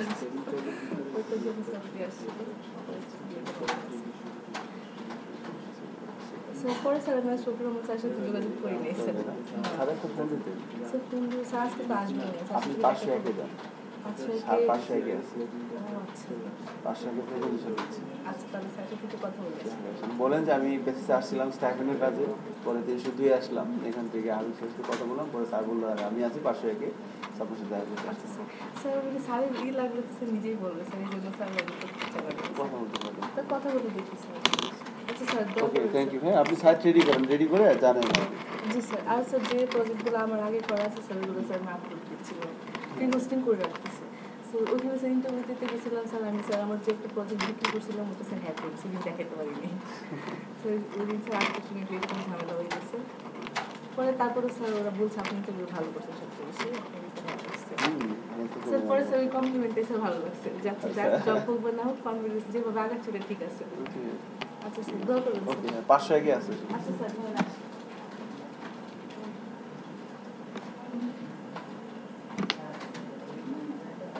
হয়ে গেছে না এটা? আর একটু করি আপনাদের সাথে। আচ্ছা। তো বডির মধ্যে আমরা আছি। আমরা এই ধরনের একটা লেয়ার তৈরি করব টেবিল দিয়ে। সো টেবিল দিয়ে শুরু করতে হয় আমরা জানি। দেখেন টি A P L E table দিয়ে শুরু করলাম টেবিল দিয়ে শেষ করলাম। আর টেবিলের মধ্যে থাকবে কি? রো এবং কলাম সো রোকে রিপ্রেজেন্ট করার জন্য টিআর টিআর এর মধ্যে টিডি টিডি দিয়ে শুরু করলাম টিডি দিয়ে শেষ করলাম। এবার সেভ করি। যদি ব্রাউজারে যাই রিফ্রেশ দেই কিছু দেখা যাচ্ছে? কিছু কিন্তু নাই। সো টেবিলের ডিফল্ট ইয়ে হচ্ছে কি, এর ডিফল্ট কোনো বিহেভিয়ার নাই। একে ওই যে আমাকে কিছু অ্যাট্রিবিউট ইউজ করতে হবে, তার কিছু অ্যাডিশনাল ইনফরমেশন প্রোভাইড করতে হবে। সো অ্যাট্রিবিউটগুলো কোথায় ইউজ করতে হয়? ওপেনিং ট্যাগে না ক্লোজিং ট্যাগে ওপেনিং ট্যাগের মধ্যে আমরা জানি। সো এখানে এসে আমরা এভাবে বললাম যে বর্ডার টেবিলের একটা বর্ডার দিয়ে দেন ওয়ান টেবিলের মধ্যে বর্ডার দিয়ে দেন ওয়ান সেভ করি আমরা। সেভ করার পর যদি ব্রাউজারে যাই, এবার রিলোড দিয়ে দেখেন, এবার কিন্তু দেখা যাচ্ছে কি, একটা বুলেট চলে আসছে, খেয়াল করছেন? বর্ডার দেওয়ার পর। বুলেট আসছে না? B O R D E R border equal to one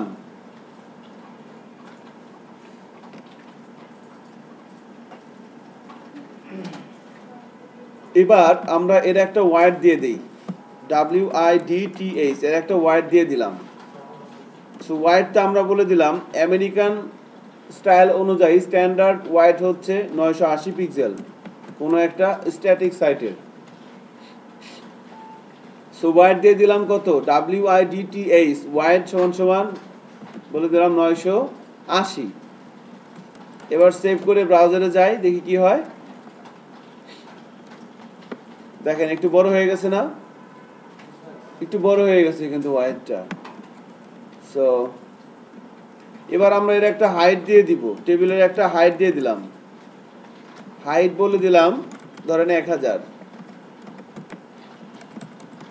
height বলে দিলাম থাউজেন্ড এবার সেভ করি ব্রাউজারে যাই। দেখেন টেবিলটা লম্বা হয়ে গেছে না? অনেক লম্বা হয়ে গেছে থাউজেন্ড দেওয়ার কারণে রাইট হ্যাঁ। সো একটা জিনিস খেয়াল করছেন? একটু দেখেন প্রজেক্টরের স্ক্রিনের দিকে সবাই। আমি হাইটটা কেটে দিচ্ছি। এবার আমার একরকম। বাট আমি যখন হাইটটা দিচ্ছি তখন আমার নিচে একটা লাল দাগ চলে আসছে না? মানে আমার প্রোগ্রামে একটা ইরর হয়েছে। এবং এখানে দেখেন একটা লাল বাটন চলে আসছে। তো যখনই নেটবিনসে কোনো কোড লিখবেন বাম পাশে যখন লাল দাগ দেখবেন তো বুঝতে হবে যে আপনি কোনো মানে কোনো একটা ভুল হচ্ছে।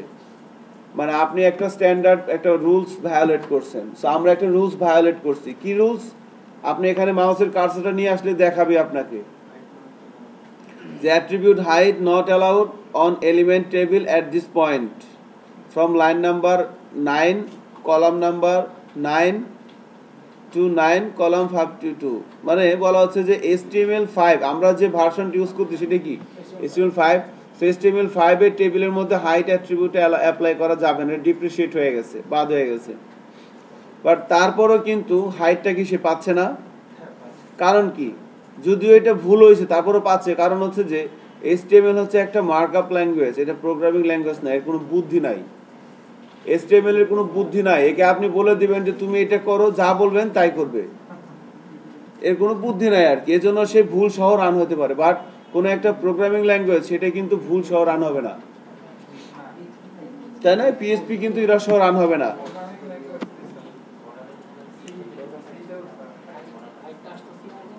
হ্যাঁ হাইট আসতেছে না বানানটা হয়তো ভুল হতে পারে। H E I G H T height সমান সমান এক হাজার। সেভ করেন। সেভ করে ব্রাউজারে যান। দেখেন যে হাইটটা চলে আসবে। আসতেছে না? আচ্ছা দেখি তো হাইটটা কেন আসতেছে না?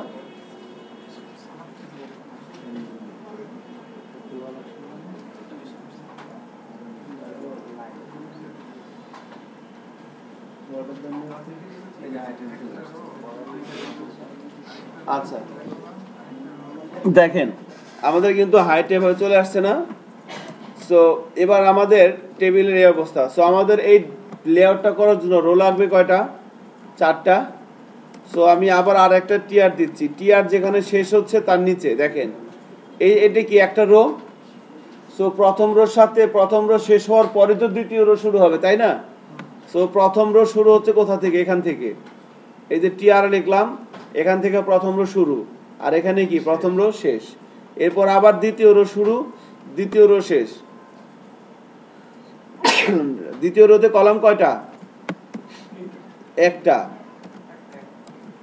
প্রথম রোতে কলম কয়টা? দুইটা না? So আমি তো একটা কলম দিছি, একটা কলম দিই নাই। সো আমি আর একটা কলম দিয়ে দিচ্ছি, টিডি। এই যে কলামের শুরু, কলামের শেষ। একটা কলম যখন শেষ হচ্ছে, তখন আবার কি করলাম আমি? আর একটা কলম শুরু করলাম আর একটা কলম শেষ করলাম।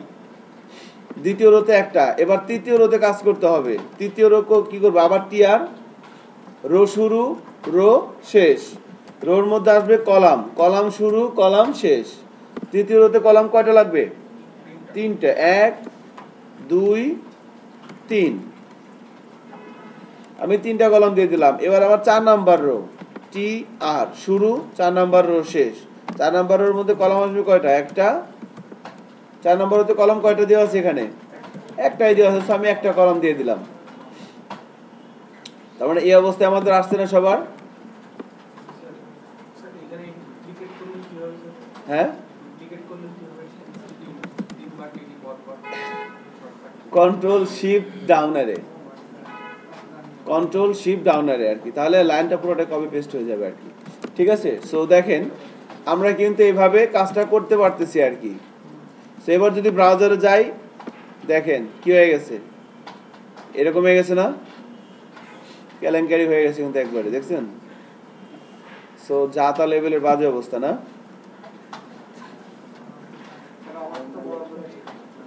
হ্যাঁ?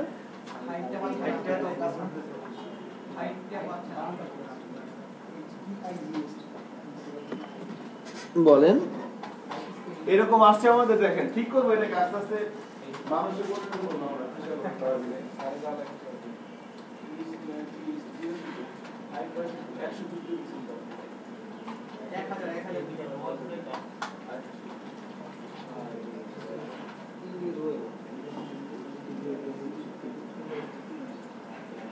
হ্যাঁ, same এরকমই আসছে।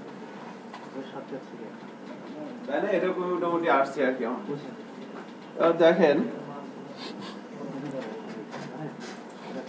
এবার আমরা যেটা করব সেটা হচ্ছে, তাহলে এখন এরকম আসলে তো হবে না। হয় নাই তো, তাই না? সো এটাকে একটু সুন্দর করতে হবে। এখন বিষয়টা হচ্ছে কি, দেখেন, এখন যে কথাগুলো বলব, একটু খেয়াল করেন।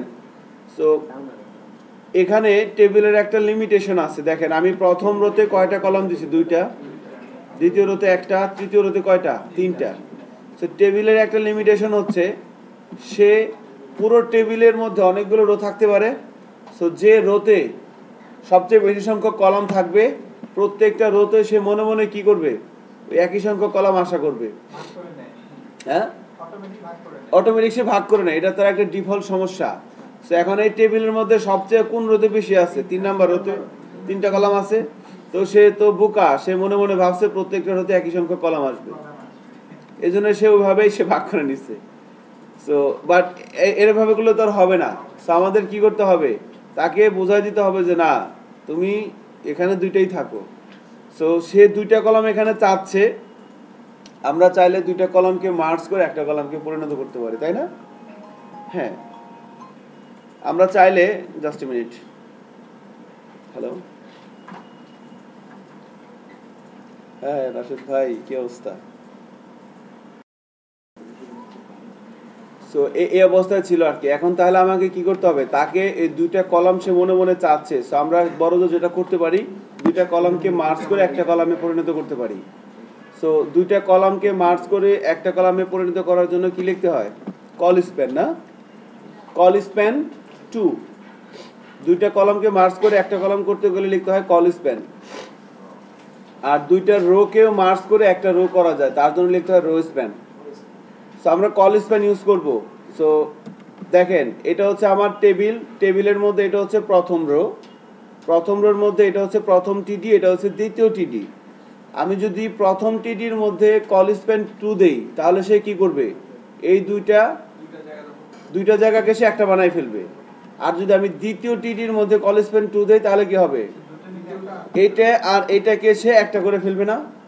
একটা করে ফেলবে সো আমার দরকার কোনটা? এটা না এটা দ্বিতীয়টাই তাহলে আমি কি করব?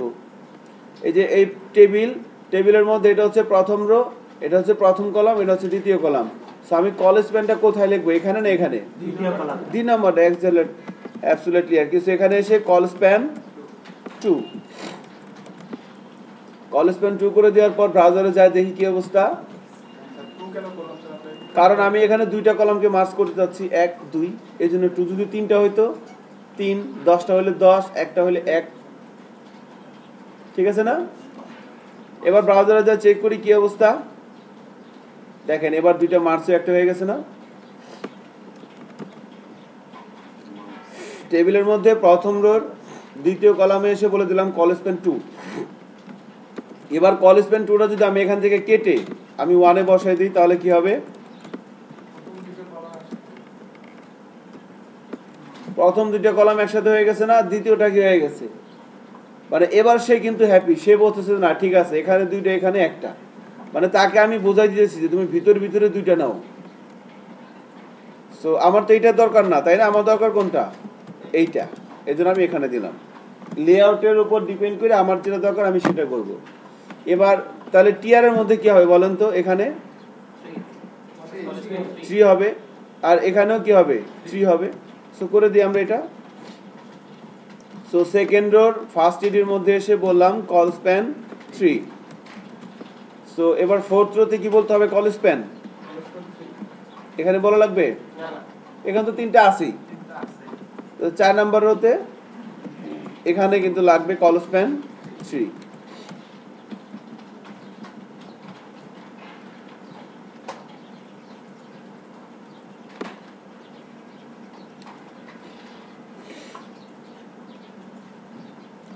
থ্রি এবার চেক করি ব্রাউজারে যাই। দেখেন এই অবস্থা এখন চলে আসছে।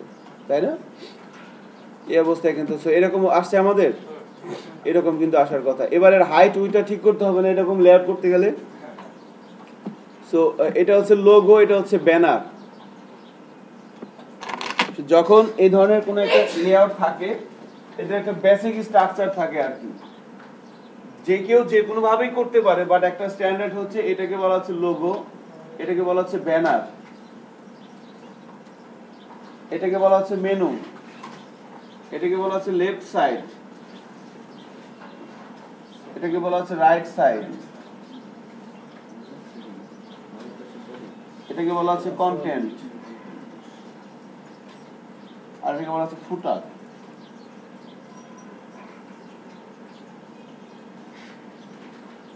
এটাকে বলা হচ্ছে ফুটার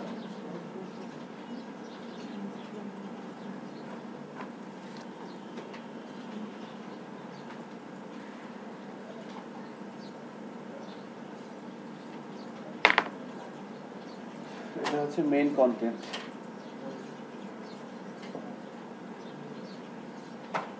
তাহলে আমাদের এই লোগো আর ব্যানারের জন্য স্ট্যান্ডার্ড হাইট হচ্ছে দুইশো পিক্সেল দুইশো। তো আমরা আমাদের কোডে আসি, দেখেন। কোডে এসে আমরা যেটা করব এখন সেটা হচ্ছে যে এই টেবিলের মধ্যে প্রথম যে রোটা এর হাইটটা ম্যানেজ করব। সো এর হাইটটা কত? এর হাইটটা আমরা দেবো দুইশো। তাহলে এখানে কয়টা কলাম আছে? দুইটা কলাম না, এ পাশে একটা কলাম, এ পাশে একটা কলাম। আমি প্রথম কলামেই বলে দিচ্ছি, হাইট কত? হাইট বলে দিলাম হচ্ছে দুইশো। পিক্সেল বলা দরকার নাই, শুধু সংখ্যাটা বলে দিলেই হবে। হাইট হচ্ছে দুইশো। এবার ব্রাউজারে যাই, চেক করি। দেখেন, হাইটটা কমে গেছে না? সেখানে আমার একটা কোশ্চেন আছে। কোশ্চেনটা হচ্ছে, এখানে কলাম কয়টা? দুইটা। আমি দুইটা কলামের হাইট কমাইছি? একটার কমাইছি, তাই না? আরেকটা কিন্তু অটো কমে গেছে। খেয়াল করছেন? আমি এই কলমটার এই টিডির মধ্যে কিন্তু হাইট দিছি। এই টিডির মধ্যে কি হাইট দেওয়া আছে? এই যে প্রথম টিডি দ্বিতীয় টিডি এখানে কলেজ পেন বলা আছে, এখানে তো হাইট নাই বাট এটা অটো কমে গেছে। সো এটা আর একটা লিমিটেশন টেবিলের সো টেবিল যেমন কোনো একটা মানে যে রোতে সবচেয়ে বেশি সংখ্যক কলাম আছে, প্রত্যেকটা রোতেই সেই মনে মনে সংখ্যক কলাম ধরে নেয়। এটা একটা লিমিটেশন আর একটা লিমিটেশন হচ্ছে এক জায়গায় প্রোফাইল করলে আরেক জায়গায় কাজ করে হ্যাঁ কোনো একটা রোতে যদি একাধিক কলাম থাকে একটা কলামের হাইট কমাইলেই কি হবে? বাকিগুলোর হাইট অটোমেটিকলি কমে যাবে। হ্যাঁ। হ্যাঁ। হুম আমরা আগ- আস্তে আস্তে বসাবো আস্তে আস্তে ম্যানেজ করব। টিভিটার মধ্যে যে এক হাজারটা আছে স্যার ওইটা স্যার সে মেনটেন করবে না? না এটা আমরা কেটে দিব লাস্টে দেখেন। আমাদের এখানে একটা ইরর আছে না? আমরা চেষ্টা করব কোনো একটা যখন কোনো একটা ফাইল লিখব সবাই এখন ধরেন আমরা জাস্ট অনেকেই হয়তো আগে থেকে পারি দ্যাটস গুড বাট যেটা করতে হবে আমাদের সেটা হচ্ছে আমাদের চেষ্টা করতে হবে আমরা যে কোডটা লিখব সেখানে যেন কোনো লাল দাগ না থাকে। ঠিক আছে? তো আমরা সবার শেষে হাইটটা তুলে দিব। হাইটটা তুলে দিলে তো লাল দাগ আসবে না। তো আপাতত বোঝার জন্য কি করছি? এই হাইটটাকে রাখে রেখে দিয়েছি আর কি। ঠিক আছে? তো এইভাবে আসছে। এবার এই তাহলে কি একটার হাইট কমাইলেই বাকিগুলো কিন্তু অটোমেটিকলি কমে যাচ্ছে।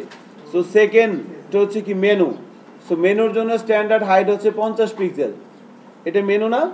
সো মেনুর জন্য স্ট্যান্ডার্ড সো মেনুটা কি? আমার সেকেন্ড রো সো সেকেন্ড রোতে এসে যে টিডিটা আছে আর একটা জিনিস খেয়াল করবেন, আমরা কিন্তু টিআরের মধ্যে হাইট ইউজ করতে পারি বাট কখনোই টিআরের মধ্যে হাইট ইউজ করবেন না। ইউজ করলে কাজ হবে বাট করব না আমরা। সো এবার সেকেন্ড টিডির মধ্যে এসে হাইট কত বলে দিব? পঞ্চাশ।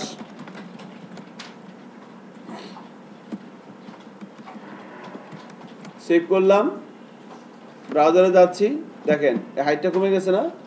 পঞ্চাশ হয়ে গেছে কিন্তু। যে টিডির মধ্যে অলওয়েজ হাইস্ট আমরা ইউজ করব।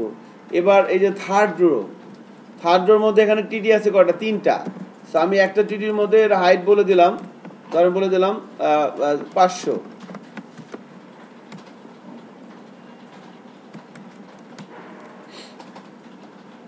একটা বলে দেওয়া মানে কি? সবগুলোই বলে দেওয়া, তাই না? চেক করি। দেখেন হাইটটা বেড়ে গেছে না? হাইটটা কিন্তু বেড়ে গেছে। এবার আমার আর একটা টিয়ার আছে। তো এর হাইটটা কত বলে দিব? সো ফুটারের জন্য স্ট্যান্ডার্ড হাইট বলা হয় হচ্ছে, ওই মেনুর সমানই, বা আমি এখানে চল্লিশ বলে দিলাম। চল্লিশ। মেনুর চেয়ে একটু ছোট হয় আর কি, সাধারণত।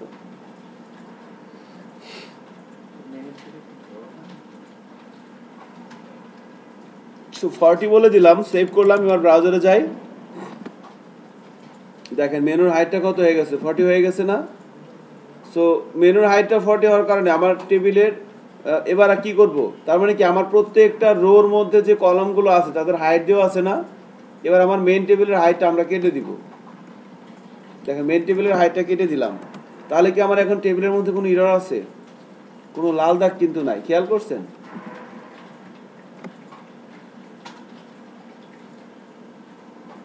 কোনো ইরর কিন্তু এখন আর এখানে নেই। এবং যদি আমি ব্রাউজারে যাই রিফ্রেশ দেই হ্যাঁ? টোটাল হাইট একটু কমে গেছে। কোনো সমস্যা কি? আমরা এভাবে কিন্তু করে ফেললাম। টিআরএ কেন হাইট দিলে ইরর আসবে। দেখেন আমি একটা টিআরে হাইট দিচ্ছি। ইরর আসছে? একটা ইরর আসবে আর কি। সো যেহেতু একটা কলামের মধ্যে হাইট দিলে সবগুলো পেয়ে যায় জন্য টিএডির মধ্যে দেওয়াটাই ওয়াইজ আচ্ছা। তো আমাদের এতটুকুন হয়েছে সবার? হ্যাঁ অবশ্যই। একটু বড় থাকবে, তাই না? এটা হ্যাঁ। সো আমরা কি করব? এই মেন কন্টেন্ট ওয়ারটা একটু বড় না? সো এই- এইটা আর এইটা। এখানে একটা জিনিস খেয়াল করেন, আমাদের যে লোগোটা এখানে যে এটা কি লোগো না? লোগোটা একটু ছোট করে দিব। হ্যাঁ লোগোর ওয়াইডটা একটু আমরা ছোট করে দিব। লোগোর ওয়াইডটা আমরা করে দিচ্ছি হচ্ছে ধরেন দুইশো। দুইশো করে দেন। সো প্রথম রোর প্রথম কলামে আসি আমরা সবাই। এই যে টেবিল এই প্রথম রো এই প্রথম কলাম হাইট দিয়েছিলাম কত? দুইশো না? এর ওয়াইডটাও বলে দিচ্ছি আমরা দুইশো। ওয়াইডটাও বলে দিলাম টু হান্ড্রেড টু হান্ড্রেড বলে দেওয়ার পর সেভ করি। দেখেন এখানে এখন আবার আর একটা লিমিটেশন আমরা দেখতে পাবো হয়তো আর কি। দেখা যাচ্ছে না? হ্যাঁ। একটার ওয়াইড কমাইছি বাট ফিয়ামানিল্লা সে কি করছে? মানে ওই টেবিলের মধ্যে যতগুলো রো আছে প্রত্যেকটা রোতে ওই কলাম বরাবর যতগুলো কলাম সে পাবে সবার ওয়াইডটা সে কমাই নেয়। হ্যাঁ কমাই নেবে। এটা একটা লিমিটেশন আর কি। সো তাহলে আমাদের এই মাঝখানের জায়গাটা একটু বড় করতে হবে না? সো এই তিন নাম্বার যে টিডিটা আছে সরি রো প্রথম রো দ্বিতীয় রো তিন নাম্বার রোর তিন নাম্বার টিডি যে ওয়াইটটা কমায় দেন, দুশো করে দেন। তাহলে আমরা আমাদের টেবিলের মধ্যে প্রথম row second row third row so third রোর third যে টিডিটা আছে, এর মধ্যে এসে ওয়াইটটা শুধু বলে দিলেই হবে হাইট বলতে হবে না। ওয়াইটটা বলে দিলাম আমরা টু হান্ড্রেড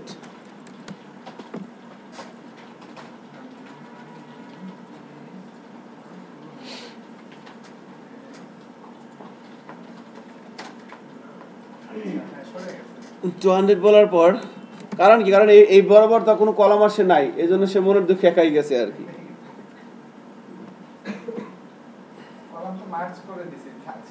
ছিল আগে। হ্যাঁ। সরে যেত। হ্যাঁ। রাইট সো এভাবে কিন্তু আমাদের কাজটা হচ্ছে। একটা স্ট্রাকচার কিন্তু আসছে। এবার এটা কি একটু এক কোনায় আছে না মাঝখানে নিয়ে আসতে হবে না এটাকে? এক মানে লেআউটটা মনে হয় একটা বডি ব্রাউজার একটা, এক পাশে আছে। সো মাঝখানে আনতে চাইলে কি করতে পারব আমরা? হ্যাঁ। সো এই টেবিলের মধ্যে এসে বডির পর যে টেবিলটা আছে, এখানে এসে অ্যালাইন অ্যালাইন যার ভ্যালু হবে কি? Centre A L I G N এর ভ্যালু হবে সেন্টার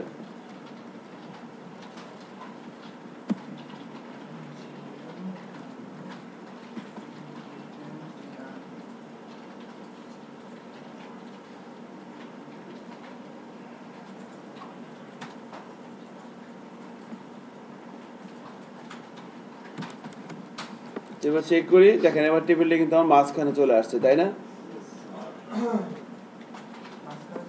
চলে আসছে। কিন্তু। সো এই একটা লেআউট আমরা তৈরি করলাম আর তৈরি করতে পারতেছি। সো এই লেআউটটা আমাদের তৈরি করা হয়ে গেছে সবার?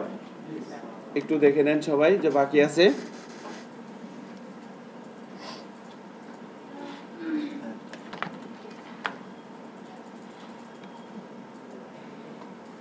আপনাদের প্রতিবেশীর খুব যে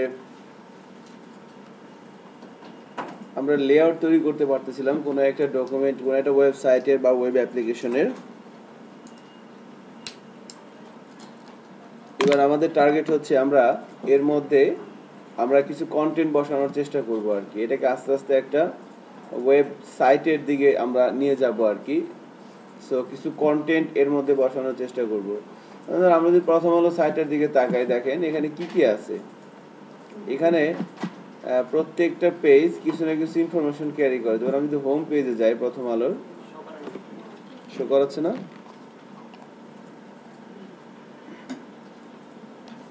প্রথম আলোর হোম পেজে যাই, দেখেন এখানে কিছু আর্টিকেল লেখা আছে, তাই না? সো এভাবে বলা হয় আর কি, কোনো একটা ওয়েব পেজ কোনো একটা ওয়েব পেজ এর মধ্যে কিছু ইনফরমেশন থাকে কোনো একটা পার্টিকুলার বিষয়ের উপরে। সো যখন কোনো একটা বিষয়ের উপরে কোনো একটা ইনফরমেশন লেখা হয়, তখন ওই পার্টিকুলার টপিকসের উপর তিনটে জিনিস ফোকাস করা হয়। কি কি?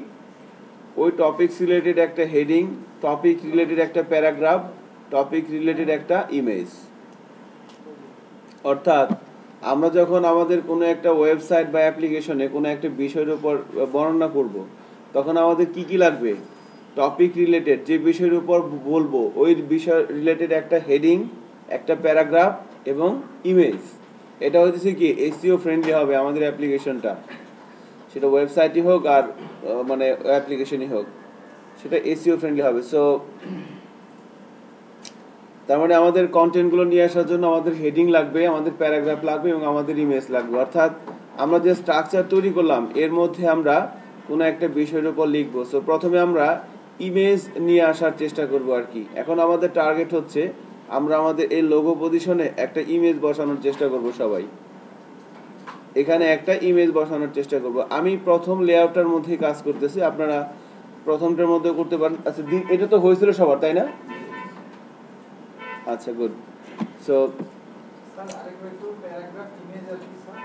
হেডিং হ্যাঁ হেডিং একটা প্যারাগ্রাফ একটা ইমেজ যখনই কোনো একটা ডকুমেন্ট তৈরি করবেন ওয়েবে রাখার জন্য, যখনই কোনো একটা ডকুমেন্ট তৈরি করবেন ওয়েবে রাখার জন্য আমাকে ইউজ করতে হবে এসটিএমএল আর এসটিএমএল তে যখন আমি কোনো ডকুমেন্ট তৈরি করব, তখন ওই ডকুমেন্ট যে বিষয়ের উপর আমি লিখব, ওই বিষয়ের উপর আমার তিনটে জিনিস দরকার, একটা হচ্ছে হেডিং প্যারাগ্রাফ একটা ইমেজ তাহলে আমার ওই ডকুমেন্টটা এসইও ফ্রেন্ডলি হবে।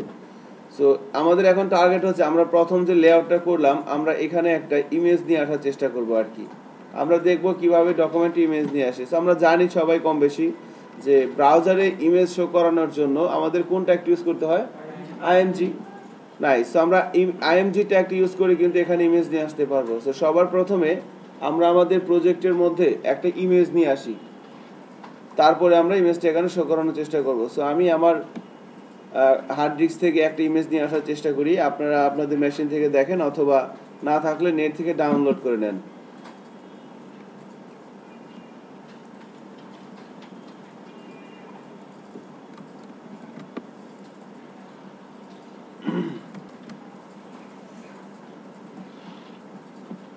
সো ইমেজেস নামে একটা ফোল্ডার থেকে আমি একটা ইমেজ নিয়ে আসতে চাচ্ছি, এভাবে দেখেন। আমি একটা ইমেজ কপি করে নিয়ে আসলাম। নিয়ে এসে আমি আমার যে প্রজেক্টটা আছে, সেখানে একটা ফোল্ডার তৈরি করব, নাম দিব ইমেজেস সো ইমেজগুলো সাধারণত একটা ডিফারেন্ট ফোল্ডারের মধ্যে রাখাটাই ওয়াইজ এসটিএমএল ফাইল যেখানে আছে, আমি সেখানে ডিরেক্ট লিখে দিলেও কোনো প্রবলেম হবে না। বাট ইমেজগুলোকে অলওয়েজ একটা ইমেজেস ফোল্ডারের মধ্যে রেখে দেওয়াটাই ওয়াইজ আর কি। সো আমরা একটা ইমেজ নিয়ে আসলাম এভাবে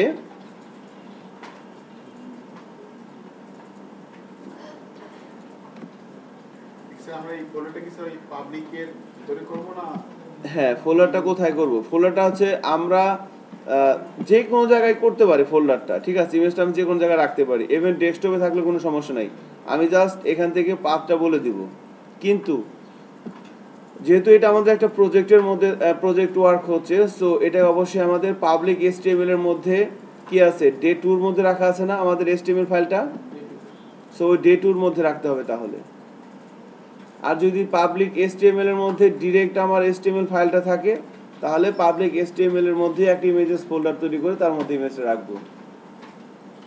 আর যেহেতু আমরা পাবলিক এসটিএমএল এর মধ্যে একটা ফোল্ডার তৈরি করছি ডে টু এর মধ্যে আমাদের এসটিএমএল ফাইলটা সেই জন্য এর মধ্যে ইমেজেস ফোল্ডার তৈরি করে মধ্যে রেখে দিলাম আর কি। এবার আমরা ইমেজটা কোথায় দেখাতে চাচ্ছি? প্রথম রোর এই এই জায়গাটায় না, প্রথম রোর প্রথম কলামে তো তাহলে আমরা আমাদের টেবিলে যাচ্ছি প্রথম রো প্রথম কলাম। সো আমরা যা কিছু কন্টেন্ট করব এই দুই টিডির মাঝখানে, একটু জিনিস খেয়াল করেন সবাই, আমাদের অনেকের হয়তো ভুল হতে পারে যে আমরা যেটা করতে পারি সেটা হচ্ছে অনেকে ইমেজটা এই দুই টিডির মাঝখানে। এটা হচ্ছে আমার রো শুরু, এটা হচ্ছে আমার রো শেষ। সো আমি এখানে কোনো কিছু করব না, অথবা আমি এখানেও কোনো কিছু করব না, অথবা আমি এখানেও কোনো কিছু করব না। আমি যা কিছু করব, কোথায় করব? দুই টিডির মাঝখানে। এই দেখেন, এখানে আমার একটা টিডি আছে না? এই যে একটা টিডি। শুরু হচ্ছে এই দুই টিডির মাঝখানে। আমি যা কিছু করার এখানে করব, অথবা আমি যা কিছু করার এখানে করব। আমার কথাটাকে আমি বুঝাতে পারছি? যা কিছু করার এখানে করতে হবে আর কি। থ্যাংক ইউ সো এবার দেখেন, তার মানে আমাকে ইমেজটা বসাতে হবে। কোথায় বসাবো? এই জায়গাটায়, তাই না? দুই টিডির মাঝখানে, কলামের মাঝখানে। তো এখানে এসে আমরা আই এম জি ইমেজ ট্যাগটার নাম হচ্ছে ইমেজ এর মধ্যে বেশ কিছু অ্যাট্রিবিউট আমরা ইউজ করব। তার মধ্যে ইম্পর্টেন্ট হচ্ছে সোর্স এস আর সি সোর্সের মধ্যে বলে দিতে হবে ইমেজটা কোথায় আছে? ইমেজটার সোর্স কোথায়? সো দেখেন, এই যে ডবল কোটেশনের মাঝখানে মাউসের কারসারটা রেখে বিপ করতেছে না। একবার আসতেছে একবার যাচ্ছে। কন্ট্রোল চেপে ধরে স্পেস বার চাপ দেন কিবোর্ড থেকে। কন্ট্রোল চেপে ধরে স্পেস বার কন্ট্রোল চেপে ধরে স্পেস বার চাপ দিলে দেখেন এরকম একটা সাজেশন দেওয়ার কথা। সো এখান থেকে আমাকে প্রথমে কি আছে? ডট ডট ব্যাক স্ল্যাশ এর মানে হচ্ছে এক ঘর পিছনে যাওয়া। ইমেজেস মানে কি? ওই ফোল্ডারটা আর ইন্ডেক্স ডট এসটিএমএল একটা ফাইলের নাম। এই ফাইল কোনটা? মেন ফাইলটা যেটার মধ্যে আমরা এখন আছি। সো আমরা কোথায় যাব এখান থেকে। ইমেজেসের মধ্যে যাচ্ছি। আবারও কন্ট্রোল চেপে ধরে স্পেস বার চাপ দিলাম। এবার দেখেন, ওই যে একটা ইমেজ দিছিলাম, ওই ইমেজটাকে কিন্তু এখানে শো করাচ্ছে। ঠিক আছে না? সিলেক্ট করে দিলাম। এবার আমি সেভ করলাম। এবার আমি একটু ইমেজটা শেষ করার পর আর একটা অ্যাট্রিবিউট দেবো, সেটা হচ্ছে alter A L T alter alter অ্যাট্রিবিউটের মধ্যে আমাকে ইমেজটা যদি কোনো কারণে না শো করে, আমি এখানে যে পাথটা দিলাম, এই পাথে যদি কোনো কারণে ইমেজটা না আসে তাহলে এখানে কি শো করবে? ওইটা অল্টার ট্যাগের মধ্যে বলে দিতে হয়। সো এখানে সাধারণত ইমেজের নামটা বলে দিতে হয়। এখানে আমরা কি দিতে যাচ্ছি? লোগো ইমেজ না? আমি বলে দিলাম লোগো ইমেজ সেভ করি। এবার আরেকটা জিনিস খেয়াল করেন। আমরা যে ইমেজটা দিচ্ছি, এর হাইট উইথ কি আমরা জানি? সো এখানে যখন ইমেজটা আসবে, বড় ছোট হয়ে আসতে পারে না। সো বাট আমরা ইমেজটা যেখানে রাখতে চাচ্ছি, ওই জায়গাটার হাইট উইথ কি আমরা জানি? দুশো বাই দুশো। তাহলে একটা কাজ করতে পারি, আমরা এইখানে এসে আগে এটা না করি, দেখেন, আগে এমনি থাক। সিম্পলি এমনি থাক ব্রাউজার এসে রিলোড দেই। দেখেন, একটা ইমেজ চলে আসছে না এখানে। আমার একটা ইমেজ কিন্তু লোগো হিসেবে এখানে চলে আসছে। সো এটা হাইট উইথ একটু বড় হয়ে গেলে একটু প্রবলেম হবে, তাই না? সো আমরা কি করব? এই ইমেজ কোডে আসেন কোডে এসে ইমেজের মধ্যে যেখানে অল্টার অ্যাট্রিবিউটটা যেখানে শেষ হচ্ছে, তারপরে একটা জিনিস আমাদের করতে হবে, সেটা হচ্ছে দেখেন, এই একটা অ্যাট্রিবিউট এরপরে কি একটা স্পেস এরপরে আবার আরেকটা অ্যাট্রিবিউট সো আমি যদি আর একটা অ্যাট্রিবিউট লিখি আর একটা স্পেস দিতে হবে, এখানে বললাম হোয়াইট হোয়াইট বলে দিলাম কত হবে?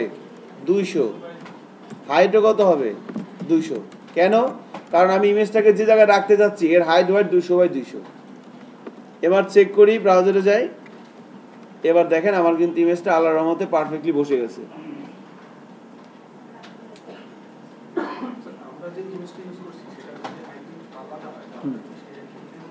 হয়? হ্যাঁ এটার অনেক আপনারা যখন পিএসপি তো র পিএসপি শিখবেন র পিএসপিতে ইমেজ রিসাইজের জন্য ফাংশন আছে বাট ওগুলো অ্যাপ্লাই করা অনেক বেশি কোড লিখতে হয়। বাট যখন আমরা ফ্রেমওয়ার্ক শিখব ফ্রেমওয়ার্ক হয়তো এই কোর্সে হবে না যখন আমরা ফ্রেমওয়ার্ক শিখব ফ্রেমওয়ার্ক শিখতেই হবে। ফ্রেমওয়ার্কের জন্য নাই? ফ্রেমওয়ার্ক আপনারা বাংলাদেশের বিভিন্ন সফটওয়্যার প্রতিষ্ঠান আছে সেখানে শিখবেন ফ্রেমওয়ার্ক বিভিন্ন প্রতিষ্ঠান আছে শিখতে পারেন। বাট ফ্রেমওয়ার্কটা শেখার আগে আপনাকে আগে এই জিনিসটা ভালো করে শিখতে হবে। আপনি যদি র পিএসপি দিয়ে দুইটা প্রজেক্ট করতে হবে আপনাকে। র পিএসপি দিয়ে যদি আপনি দুইটা প্রজেক্ট না করতে পারেন আপনি ফ্রেমওয়ার্ক শিখে কোনো লাভ নেই, আপনার পয়সা নষ্ট হবে। বলে দিলাম। সো ফ্রেমওয়ার্ক শেখার আগে আগে আপনাকে র পিএসপি দিয়ে মিনিমাম দুইটা প্রজেক্ট করতে হবে। কি কি? একটা ব্লগ সাইট একটা ই কমার্স সাইট আপনি যদি দুইটা প্রজেক্ট করতে পারেন, মোটামুটি একটা লেভেল মেনটেন করে, তাহলে আপনি ফ্রেমওয়ার্ক শিখে আপনার জন্য লাভ হবে। আদারওয়াইজ ফ্রেমওয়ার্ক শিখে কোনো লাভ নাই। সো ফ্রেমওয়ার্ক যখন শিখবেন, তখন দেখবেন যে ইমেজ যে কোনো মাপেরই হোক না কেন আমরা যেমন যে ফেসবুকে যখন ইমেজ আপলোড করি ইমেজের কি সাইজ ঠিক করে দেই? ইমেজ কি ছোট, বড় আসে না নির্দিষ্ট আকারে আসে? ওরা ওইটা কিন্তু ফ্রেমওয়ার্ক দিয়ে করা, ইয়া, ওই ইয়াটা আর কি পিএসপি দিয়ে করা আর কি ফেসবুক সাইটটা সো ওখানে কিন্তু ইমেজ রিসার্চ লাইব্রেরি ইউজ করা আছে। সো আমি যে মাপের ইমেজ দেই নাই কেন, ওখানে একটা নির্দিষ্ট রেঞ্জ বলে দেওয়া আছে। ওই রেঞ্জের মাপে ইমেজটা হয়ে যাবে। বাট এখন তো আর আমাদের ওই ফ্যাসিলিটিসগুলো আমরা ইউজ করতে পারব না। সেই জন্য আমরা ইমেজের হাইট উইথটা আমরা যে জায়গায় বসাবো, ওই জায়গার হাইট উইথের সমান বলে দেবো তাহলে এবার ব্যানারে একটা ইমেজ বসান তো হ্যাঁ বলেন? এখন তো ল্যারাবেল পপুলার? ওয়াই আই আইটা ভালো, কিন্তু মার্কেটে খুব বেশি দখল করতে পারে নাই বাংলাদেশের মানে সমস্ত পৃথিবীতেই পিএসপি সবচেয়ে জনপ্রিয় ফ্রেমওয়ার্ক হচ্ছে কোডিগনেটার বস ঠিক আছে বাট কোডিং ডেটার হচ্ছে দুই হাজার পিএসপি যখন প্রথম পিএসপি প্রোগ্রামিং এর প্রবলেমটা কি জানেন? প্রবলেমটা হচ্ছে এর কোনো রুলস নাই। এটা দিয়ে যা মন চায় তাই করা যায়। আপনি যখন জিনিসটা শিখে যাবেন, আপনি যদি জিনিসটা ধরতে পারেন মেন থিমটা তাহলে আপনি এটা দিয়ে যা মন চায় তাই করতে পারবেন। বাট যা মন চায় মানে কোনো রুলস নাই। এখন আমার যা মন চায়, আমি আমার ইচ্ছা মতো কাজ করতেছি। আপনি আপনার ইচ্ছা মতো করতেছেন, আপনি আপনার ইচ্ছা মতো করতেছেন। বাট প্রবলেমটা হবে কি আমি যখন কোনো একটা কাজ অর্ধেক করে চলে যাব এরপর আমার কাজটা যদি অন্য কেউ এসে বসে প্রবলেমটা কি হবে? সে আমার কাজের কিছুই বুঝবে না। কারণ আমি আমার স্টাইল মতো করছি। কারণ পিএসপি দিয়ে সবই করা সম্ভব। কিন্তু সি শার্প দিয়ে যদি আমি আমার মন মতো কাজ করতে পারব না জাভা দিয়ে কোনো সফটওয়্যার বানাতে গেলে আমি আমার মন মতো বানাতে পারব না। ওগুলোতে structured language PSP structured language না? অনেক। সো মানে আমি আমার ইচ্ছা মতো কাজ করব, কাজ হবে। আপনি আপনার ইচ্ছা মতো কাজ করবেন, কাজ হবে, কোনো সমস্যা নাই। কিন্তু আপনার স্টাইলের সাথে আমার স্টাইল মিলবে না। বাট যে জাভা দিয়ে প্রোগ্রাম করে, যে সিসার দিয়ে প্রোগ্রাম করে, তাদের সবারই স্টাইল একই, মানতে বাধ্য। জাভা দিয়ে কোনো সফটওয়্যার বানাতে গেলে আপনাকে এই স্টাইলই ফলো করতে হবে। কিন্তু পিএসপি দিয়ে আপনি করতেও পারেন, নাও করতে পারেন। সো এই ধরনের কিছু প্রবলেম পিএসপি অ্যারাইজ করে দুই হাজার পাঁচের দিকে, চার পাঁচের দিকে। তখন কি করল? তখন যারা পিএসপি তখন বলল যে হাই হাই এমনি চলে থাকল তো মার খেয়ে দেবো ল্যাঙ্গুয়েজটা তখন তারা ফ্রেমওয়ার্ক তৈরি করল। যে ফ্রেমওয়ার্কে যখন আপনি যাবেন, তখন আর আপনি যা মন করতে পারবেন না। যেমন আপনি যদি কোনো সফটওয়্যার কোডিনেটার দিয়ে বানান ল্যারাবেল দিয়ে বানান ওয়াই আই আই দিয়ে বানান কেক দিয়ে বানান জেন দিয়ে বানান, সেক্ষেত্রে কিন্তু আপনি আপনার ইচ্ছে মতো কাজ করতে পারবেন না। ওই ফ্রেমওয়ার্কের একটা রুলস আছে। আপনাকে রুলসটা মানতেই হবে। রুলসটা যখন মানবেন, এখন আপনি একটা কোডিনেটার ফ্রেমওয়ার্ক দিয়ে একটা সফটওয়্যার ছয় মাস করে বানাইছেন, এরপর আপনি জব সুইচ করানো জায়গায় চলে গেছেন। এবার আপনার জায়গায় আর একজন আসলো, সে বলবে যে, এটা কি দিয়ে বানাইছে? কোডিনেটার আচ্ছা ঠিক আছে। তার ওই সফটওয়্যারটা বুঝতে সময় লাগবে আধা ঘণ্টা। কারণ আপনি তো কোডিনেটার দিয়ে কাজ করলে, আপনি তো রুলসের বাইরে যেতে পারবেন না।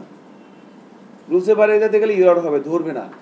সো এরকম বিষয়টা আর কি। সো ল্যারাবেল বর্তমান সময়ে সবচেয়ে পপুলার পিএসপি ফ্রেমওয়ার্কের মধ্যে। কিন্তু ল্যারাবেলটা হচ্ছে কি, এখনও স্টেবল হয় নাই। কোডিনেটারটাই বেস্ট বাংলাদেশের জব মার্কেটের মধ্যে, বাংলাদেশে খুব বেশি সফটওয়্যার ফার্ম সম্পর্কে আমার ধারণা এখনও হয় নাই। বাট যতগুলো চিনি, এরা সবাই বলে ল্যারাবেল ল্যারাবেল কিন্তু ভিতরে ভিতরে কাজ করায় কোডিনেটার দিয়ে। ঠিক আছে? কারণ কোডিনেটারটা অনেক বেশি মানে ফ্লেক্সিবল মানে ফিক্সড আপনি একটা জিনিস করতেছেন, যদি বারবার চেঞ্জ হয়, তাহলে ওটা দিয়ে আপনি কাজ করে মজা পাবেন। ল্যারাবেল আমি শিখলাম ফোর তারপরে একটা স্যার একটা প্রজেক্ট করতে দিল, শফিউল স্যার আসলো ফাইভ ফাইভ করতে করতে five point one five point one করতে না করতে এখন ফাইভ পয়েন্ট টু চলে। সো ফ্রেমওয়ার্কটা স্টেবল হয় না এখনও আচ্ছা, তাহলে আমরা কি শেষের দিকে পুরো framework নিয়ে ফ্রেমওয়ার্ক আসলে কি? যে এটা একদিনে শেখা সম্ভব মানে দু এক সপ্তাহে শেখা সম্ভব না, চার পাঁচটা ক্লাসে সম্ভব না। এটা তাহলে তখন হবে কি? যে আপনার সমস্যা হবে আর কি। অনেক বড়, ঠিক আছে হিউজ লাইব্রেরি আছে এখানে। তো ওকে যেটা করতে হবে যে একটা মানে নির্দিষ্ট সময় নিয়ে আপনারা পরে যা ওটা পরের বিষয়। আগে এটা শেষ করেন। ব্যানার ইমেজ বসাতে পারছি না আমরা? ব্যানারে কিন্তু ইমেজ বসানো গেছে। এবার আমরা আমাদের কন্টেন্টের মধ্যে কিছু একটা করার চেষ্টা করব আর কি কন্টেন্ট এরিয়ার মধ্যে। কোনো একটা বিষয় সম্পর্কে লেখার জন্য, দেখেন আমাদের যে কন্টেন্ট এরিয়াটা আছে মাঝখানের জায়গাটা কি? আমাদের কন্টেন্ট এরিয়া না?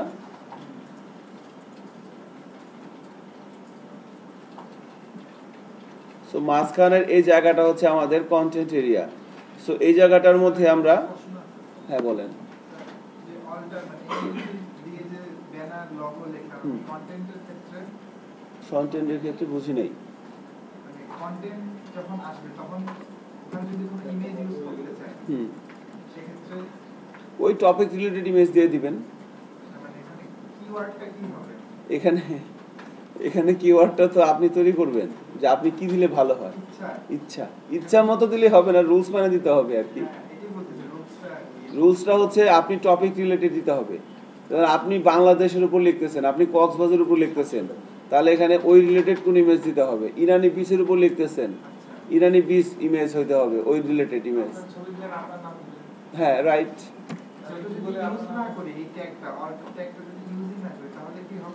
অল্টার ট্যাগটা ইউজ না করলে প্রথমত ধরেন আমি এখানে একটা ভুল নাম দিলাম সেভ করলাম এবার যাচ্ছি ইমেজটা দেখাচ্ছে। এখানে কি দেখাচ্ছে? লোগো ইমেজ দেখাচ্ছে। আর একটা বিষয় হচ্ছে এই ইমেজ তো গুগল তো ইমেজ চিনবে না। মানে যিনি মুরব্বী আর কি। মুরব্বী তো ইমেজ চিনবে না উনি তো অশিক্ষিত আর কি। ঠিক আছে? পাড়ার মরলা কিন্তু অশিক্ষিতই হয়। অশিক্ষিত পণ্ডিত। আর কি গুগল সো উনাকে এই উনি আবার অল্টারের মধ্যে আসবে তখন উনি এটাকে নিয়ে যাবে। উনি বুঝবে যে না এটা এটাই সো এটা লাগবেই। লাগবে ম্যান্ডেটরি এটা। এটা ছাড়া তো অসম্ভব। দিতে হবে হ্যাঁ। তাই না? সো আমাদের এবার টার্গেট হচ্ছে, দেখেন ইমেজটা আমরা আবার পাচ্ছি। আমাদের টার্গেট হচ্ছে, আমরা এই কন্টেন্ট এরিয়ার মধ্যে কিছু বিষয় নিয়ে আসার চেষ্টা করব আর কি। কন্টেন্ট এরিয়ার মধ্যে। সো এটা তাহলে first row second row third row second টিডিতে আমরা আসি। First row third row second row third row so table first row second row third row third row যে সেকেন্ড টিডি ফার্স্ট টিডির মধ্যে তো সাইড বার তাই না? সেকেন্ড টিডিটা এখানে আমরা কিছু বিষয় লিখব আর কি। এটা হচ্ছে আমাদের কন্টেন্ট এরিয়া সো এখানে আমরা কিছু বিষয়ের উপর এখন লেখার চেষ্টা করব।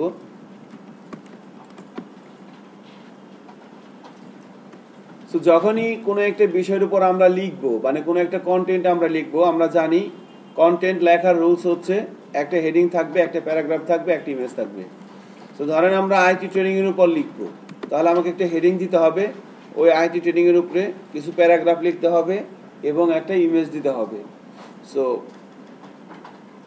হেডিং দিয়ে তাহলে হেডিং কীভাবে দিব? সো আমরা জানি যে এইচটিএমএল এ হেডিং দেওয়ার জন্য এইচ ওয়ান থেকে শুরু করে এইচ সিক্স ছয়টা ট্যাগ আছে টোটাল সো আমি বললাম দিস ইজ এ হেডিং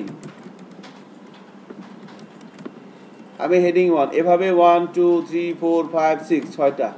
আমরা জাস্ট একটু দেখি ছয়টা হেডিং এর কার কেমন। প্র্যাকটিস করে নিতে পারেন লস হবে না। Six five four three two one so আমি ছয়টা হেডিং এখানে দিলাম। এবার আমি যদি ব্রাউজারে যাই চেক করি। দেখেন, আমার এইভাবে কিন্তু হেডিংগুলো আসতেছে, তাই না? সো এইচ ওয়ানটা কি? সবচেয়ে বড়, তারপরে কি? সিক্সটা সবচেয়েতে ইয়েটা জাস্ট এ মিনিট হ্যাঁ আলম হ্যাঁ বলে না খাওয়া দাওয়ার ব্যবস্থা নাই। ওরা হয়তো ওই প্রেজেন্টেশন দিচ্ছে তো। সো ক্লাস ক্লাস ছবি টবি তুলবে, এগুলো আর কি। সো এনিওয়ে দেখেন, আমরা এখানে হেডিং ছয়টা হেডিং পাচ্ছি আর কি। এইচ ওয়ান থেকে শুরু করে এইচ সিক্স সো দেখা যাচ্ছে যে এইচ ওয়ানটা সবচেয়ে বড় এইচ সিক্সটা সবচেয়ে ছোট। তাই না? সো ওয়ানটা সবচেয়ে বড় এইচ সিক্সটা সবচেয়ে ছোট। বাট তাহলে আমরা কোন হেডিংটা ইউজ করব? এখানে একটা কোশ্চেন আসে না। হেডিং তো ছয়টা আছে, আমরা কোনটা ইউজ করব? সো যে মুরব্বী, উনি কোনটা পছন্দ করবে? সো মুরব্বী, উনি সবচেয়ে পছন্দ করে এইচ থ্রিকে ঠিক আছে? এই স্ত্রীকে। সো উনার কথা হচ্ছে যে, যদি আমরা যেমন ছোটবেলায় রচনা লিখতাম, যে গরুর রচনা, গরু। তারপরে একটি গৃহপালিত পশু, তারপরে সূচনা ইন্ট্রোডা সূচনা, তারপরে অনেক কিছু থাকতো না, সূচনার আন্ডারে কিছু প্যারাগ্রাফ তারপরে ওই মোহাম্মদপুরের সূচনা কমিউনিটি সেন্টার কিন্তু না, ঠিক আছে? অন্য ইন্ট্রোডাকশন সূচনা আর কি। সো ইন্ট্রোডাকশন ডিসক্রিপশন এভাবে বলতাম না একটা একটা করে। সো ওই ইন্ট্রোডাকশন ডিসক্রিপশন এগুলো হইতেছে এইচ থ্রি হওয়া লাগবে। আর সবার উপরে যে লিখতাম না গরু, ওটা H one H one so এখন যদি বলেন যে কোনটা ইম্পর্টেন্ট অ্যাকচুয়ালি সবগুলো ইম্পর্টেন্ট আপনি দেখবেন, কখনো আপনার এইচ ওয়ান লাগবে, কখনো এইচ থ্রি লাগবে, কখনো এইচ টু লাগবে, কখনো এইচ ফোর লাগবে। ফাইভ আর সিক্স সাধারণত লাগে না। ফাইভ আর সিক্স সাধারণত লাগে না। তবে যখন আমাদের কোনো একটা টেক্সটকে বড় করা দরকার, আমরা কিন্তু হেডিং দিয়ে বড় করব না। হেডিংয়ের মানে কিন্তু আলাদা। যখনই কোনো একটা হেডিং পাবে ওই যে একজন পিছন থেকে হয়তো বলছে যে এসিও ফ্রেন্ডলি হয়তো হবে আপনার কন্টেন্টটা সো কন্টেন্টটা মানে আমার, আমি কিছু লিখতে চাচ্ছি। যেমন ধরেন যে প্রথম আলোতে, এটা এখানে এটা কি? হেডিং এটি কিন্তু তারা, আমি চাইলে যদি সিএসএস দিয়ে একটা লেখা লিখতাম ফন্ট সাইজ বাড়া দিতাম, বড় হইতো না। ওইটা ওইটা যদি আমি এখানে বহাই দিতাম, কোনো সমস্যা ছিল? ওইটা এসিও ফ্রেন্ডলি হইতো না। আমি কোনো একটা ওয়েবসাইট যদি তৈরি করি ওয়েব অ্যাপ্লিকেশন হলে আলাদা বিষয়। ওয়েব অ্যাপ্লিকেশনটা তৈরি করা হয় টার্গেটেড অডিয়েন্সের জন্য। আমি একটা কোম্পানিতে কাজ করি। আমি হক গ্রুপের জন্য একটা এইচআর অ্যান্ড পেরোল সফটওয়্যার তৈরি করছি। সেটা হক গ্রুপের ওই এইচআর এর বিশ জন লোক ইউজ করে বাইরে কেউ ইউজ করে না। ওটা হিসাব আলাদা। বাট আমি একটা ই কমার্স সাইট তৈরি করতেছি। আমি একটা ফেসবুকের মতো সোশ্যাল সাইট তৈরি করতেছি। আমি একটা ইয়া করতেছি। একটা কোম্পানির সাইট করতেছি। কোম্পানি কিছু সার্ভিস আছে। এখন এই ধরনের কাজ তো মার্কেটে আরও অনেক আছে না? হাজার হাজার সাইট ইন্টারনেটে আছে। এখন কেউ যদি গুগলে সার্চ দেয়, তাহলে আমারটা আগে আসবে কীভাবে? সো আমারটা আগে আসার জন্য ওই গুগলের শর্ত অনুযায়ী আমাকে কিছু কাজ করতে হবে। সো উনি বলছে যে একটা হেডিং দাও, একটা প্যারাগ্রাফ দেখেন, একটা হেডিং এবং একটা প্যারাগ্রাফ কিন্তু এখানে আছে। এবং একটা ইমেজও কিন্তু আছে বিস্তারিতর মধ্যে গেলে পাওয়া যাবে। আবার কখনো কখনো এখানে আছে। দেখছেন, এটা কি? মুম্বাইয়ের তারকা খচিত অনুষ্ঠানে আগুন। নাইস সো আর একটু হলে প্রিয়াঙ্কা চোপড়া পুরা যায় তাই?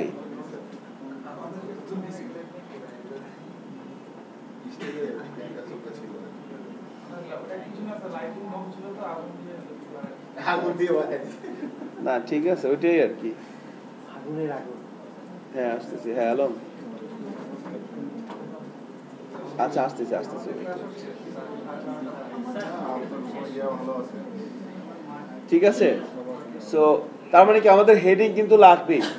সো হেডিং কিন্তু শুধুমাত্র টেক্সটকে বড় করার জন্য না। হেডিং হচ্ছে যখন কোনো একটা আর্টিকেল আমরা ধরেন গুগলে কিছু লিখে সার্চ দিলাম। গুগলে আসলাম। গুগলে আসলাম। গুগলে যখন কোনো কিছু লিখে সার্চ দেই সার্চ দেওয়ার পর সে একটা আর্টিকেল কোনো একটা বিষয় সম্পর্কে আমি জানতে চাচ্ছি। আমার সাইটে যদি ওই বিষয় সম্পর্কে থাকে তাহলে কিন্তু অবশ্যই আমাকে হেডিং ইউজ করতে হবে। হেডিং প্যারাগ্রাফ এবং ইমেজ সো ছয়টা হেডিং এর জন্যই মানে ইম্পর্টেন্ট বাট আমাকে ম্যাক্সিমাম টাইম ইউজ করা লাগবে এইচ থ্রি সো আমি এইচ থ্রিটা রেখে বাকিগুলো আপাতত কেটে দিচ্ছি। ঠিক আছে? বাকিগুলো আপাতত আমাদের দরকার নাই। সো এবার আমরা একটা প্যারাগ্রাফ লিখব। সো প্যারাগ্রাফ লেখার জন্য শুরু করতে হবে পি দিয়ে, শেষ করতে হবে পি দিয়ে। এখানে আমি বললাম যে some content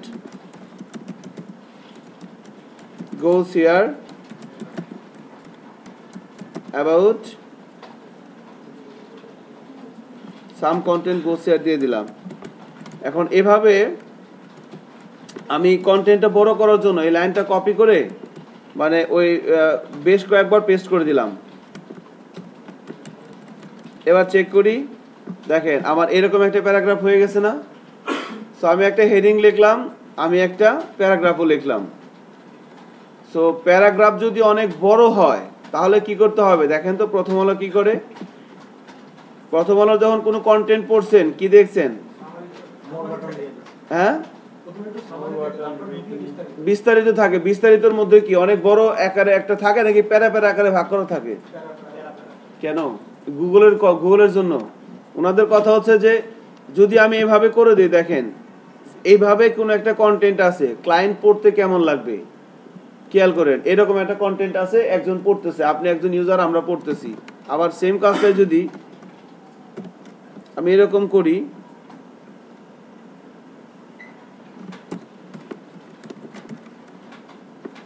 এবার পড়তে কেমন লাগবে? আগের চাইতে এখন পড়তে কি সহজ হবে না? আগেরটা দেখলে তো মানুষ ভয় পেত দূর এত বড় কন্টেন্ট পড়ব না। আপনি নিজেই করেন, আপনি কোনো একটা জিনিস জানতে চাচ্ছেন গুগলে সার্চ দিলেন, আপনার সামনে একটা ওয়েবসাইট চলে আসলো কন্টেন্টগুলো যদি আগের মতো থাকে, যদি এরকম থাকে, আগের যেরকম ছিল, তাহলে কি মানুষ পড়বে? আপনি পড়বেন দূর, এত সময় কই? ছোট ছোট প্যারা আকারে ভাগ করতে হবে, এটা হলো সেকেন্ড রুলস ফার্স্ট রুলস হচ্ছে একটা হেডিং থাকা লাগবে সেকেন্ড রুলস হচ্ছে প্যারা আমার কাছে কন্টেন্ট যদি অনেক বেশি হয়, তাহলে কি করতে হবে? ছোট ছোট প্যারা আকারে লিখতে হবে এবং একটা প্যারার সাইজ ম্যাক্সিমাম যেন তিন লাইন হয়, এর বেশি যেন না হয়। আপনি দেখেন প্রথম আলোতে ওরা তাই করে। তিন লাইন, চার লাইন এর বেশি হয় না। দেখবেন নতুন আবার প্যারা শুরু হচ্ছে, ঠিক আছে? সো ডিউ টু সাম মানে অফিসিয়াল প্রবলেম আমি আজকের ক্লাসটা এখানে শেষ করে দেবো আর কি। আমি একটু পাঁচশো একে চলে যাব এখন। আমাকে স্যার ফোন দিছিলেন আর কি। সো আমরা নেক্সট ক্লাসে ইনশাল্লাহ এটা কভার করে দিব আর কি, ঠিক আছে? হ্যাঁ ক্লাস শেষ আজকে এখানে। আপনারা হ্যাঁ সরি বুঝতে পারি নাই।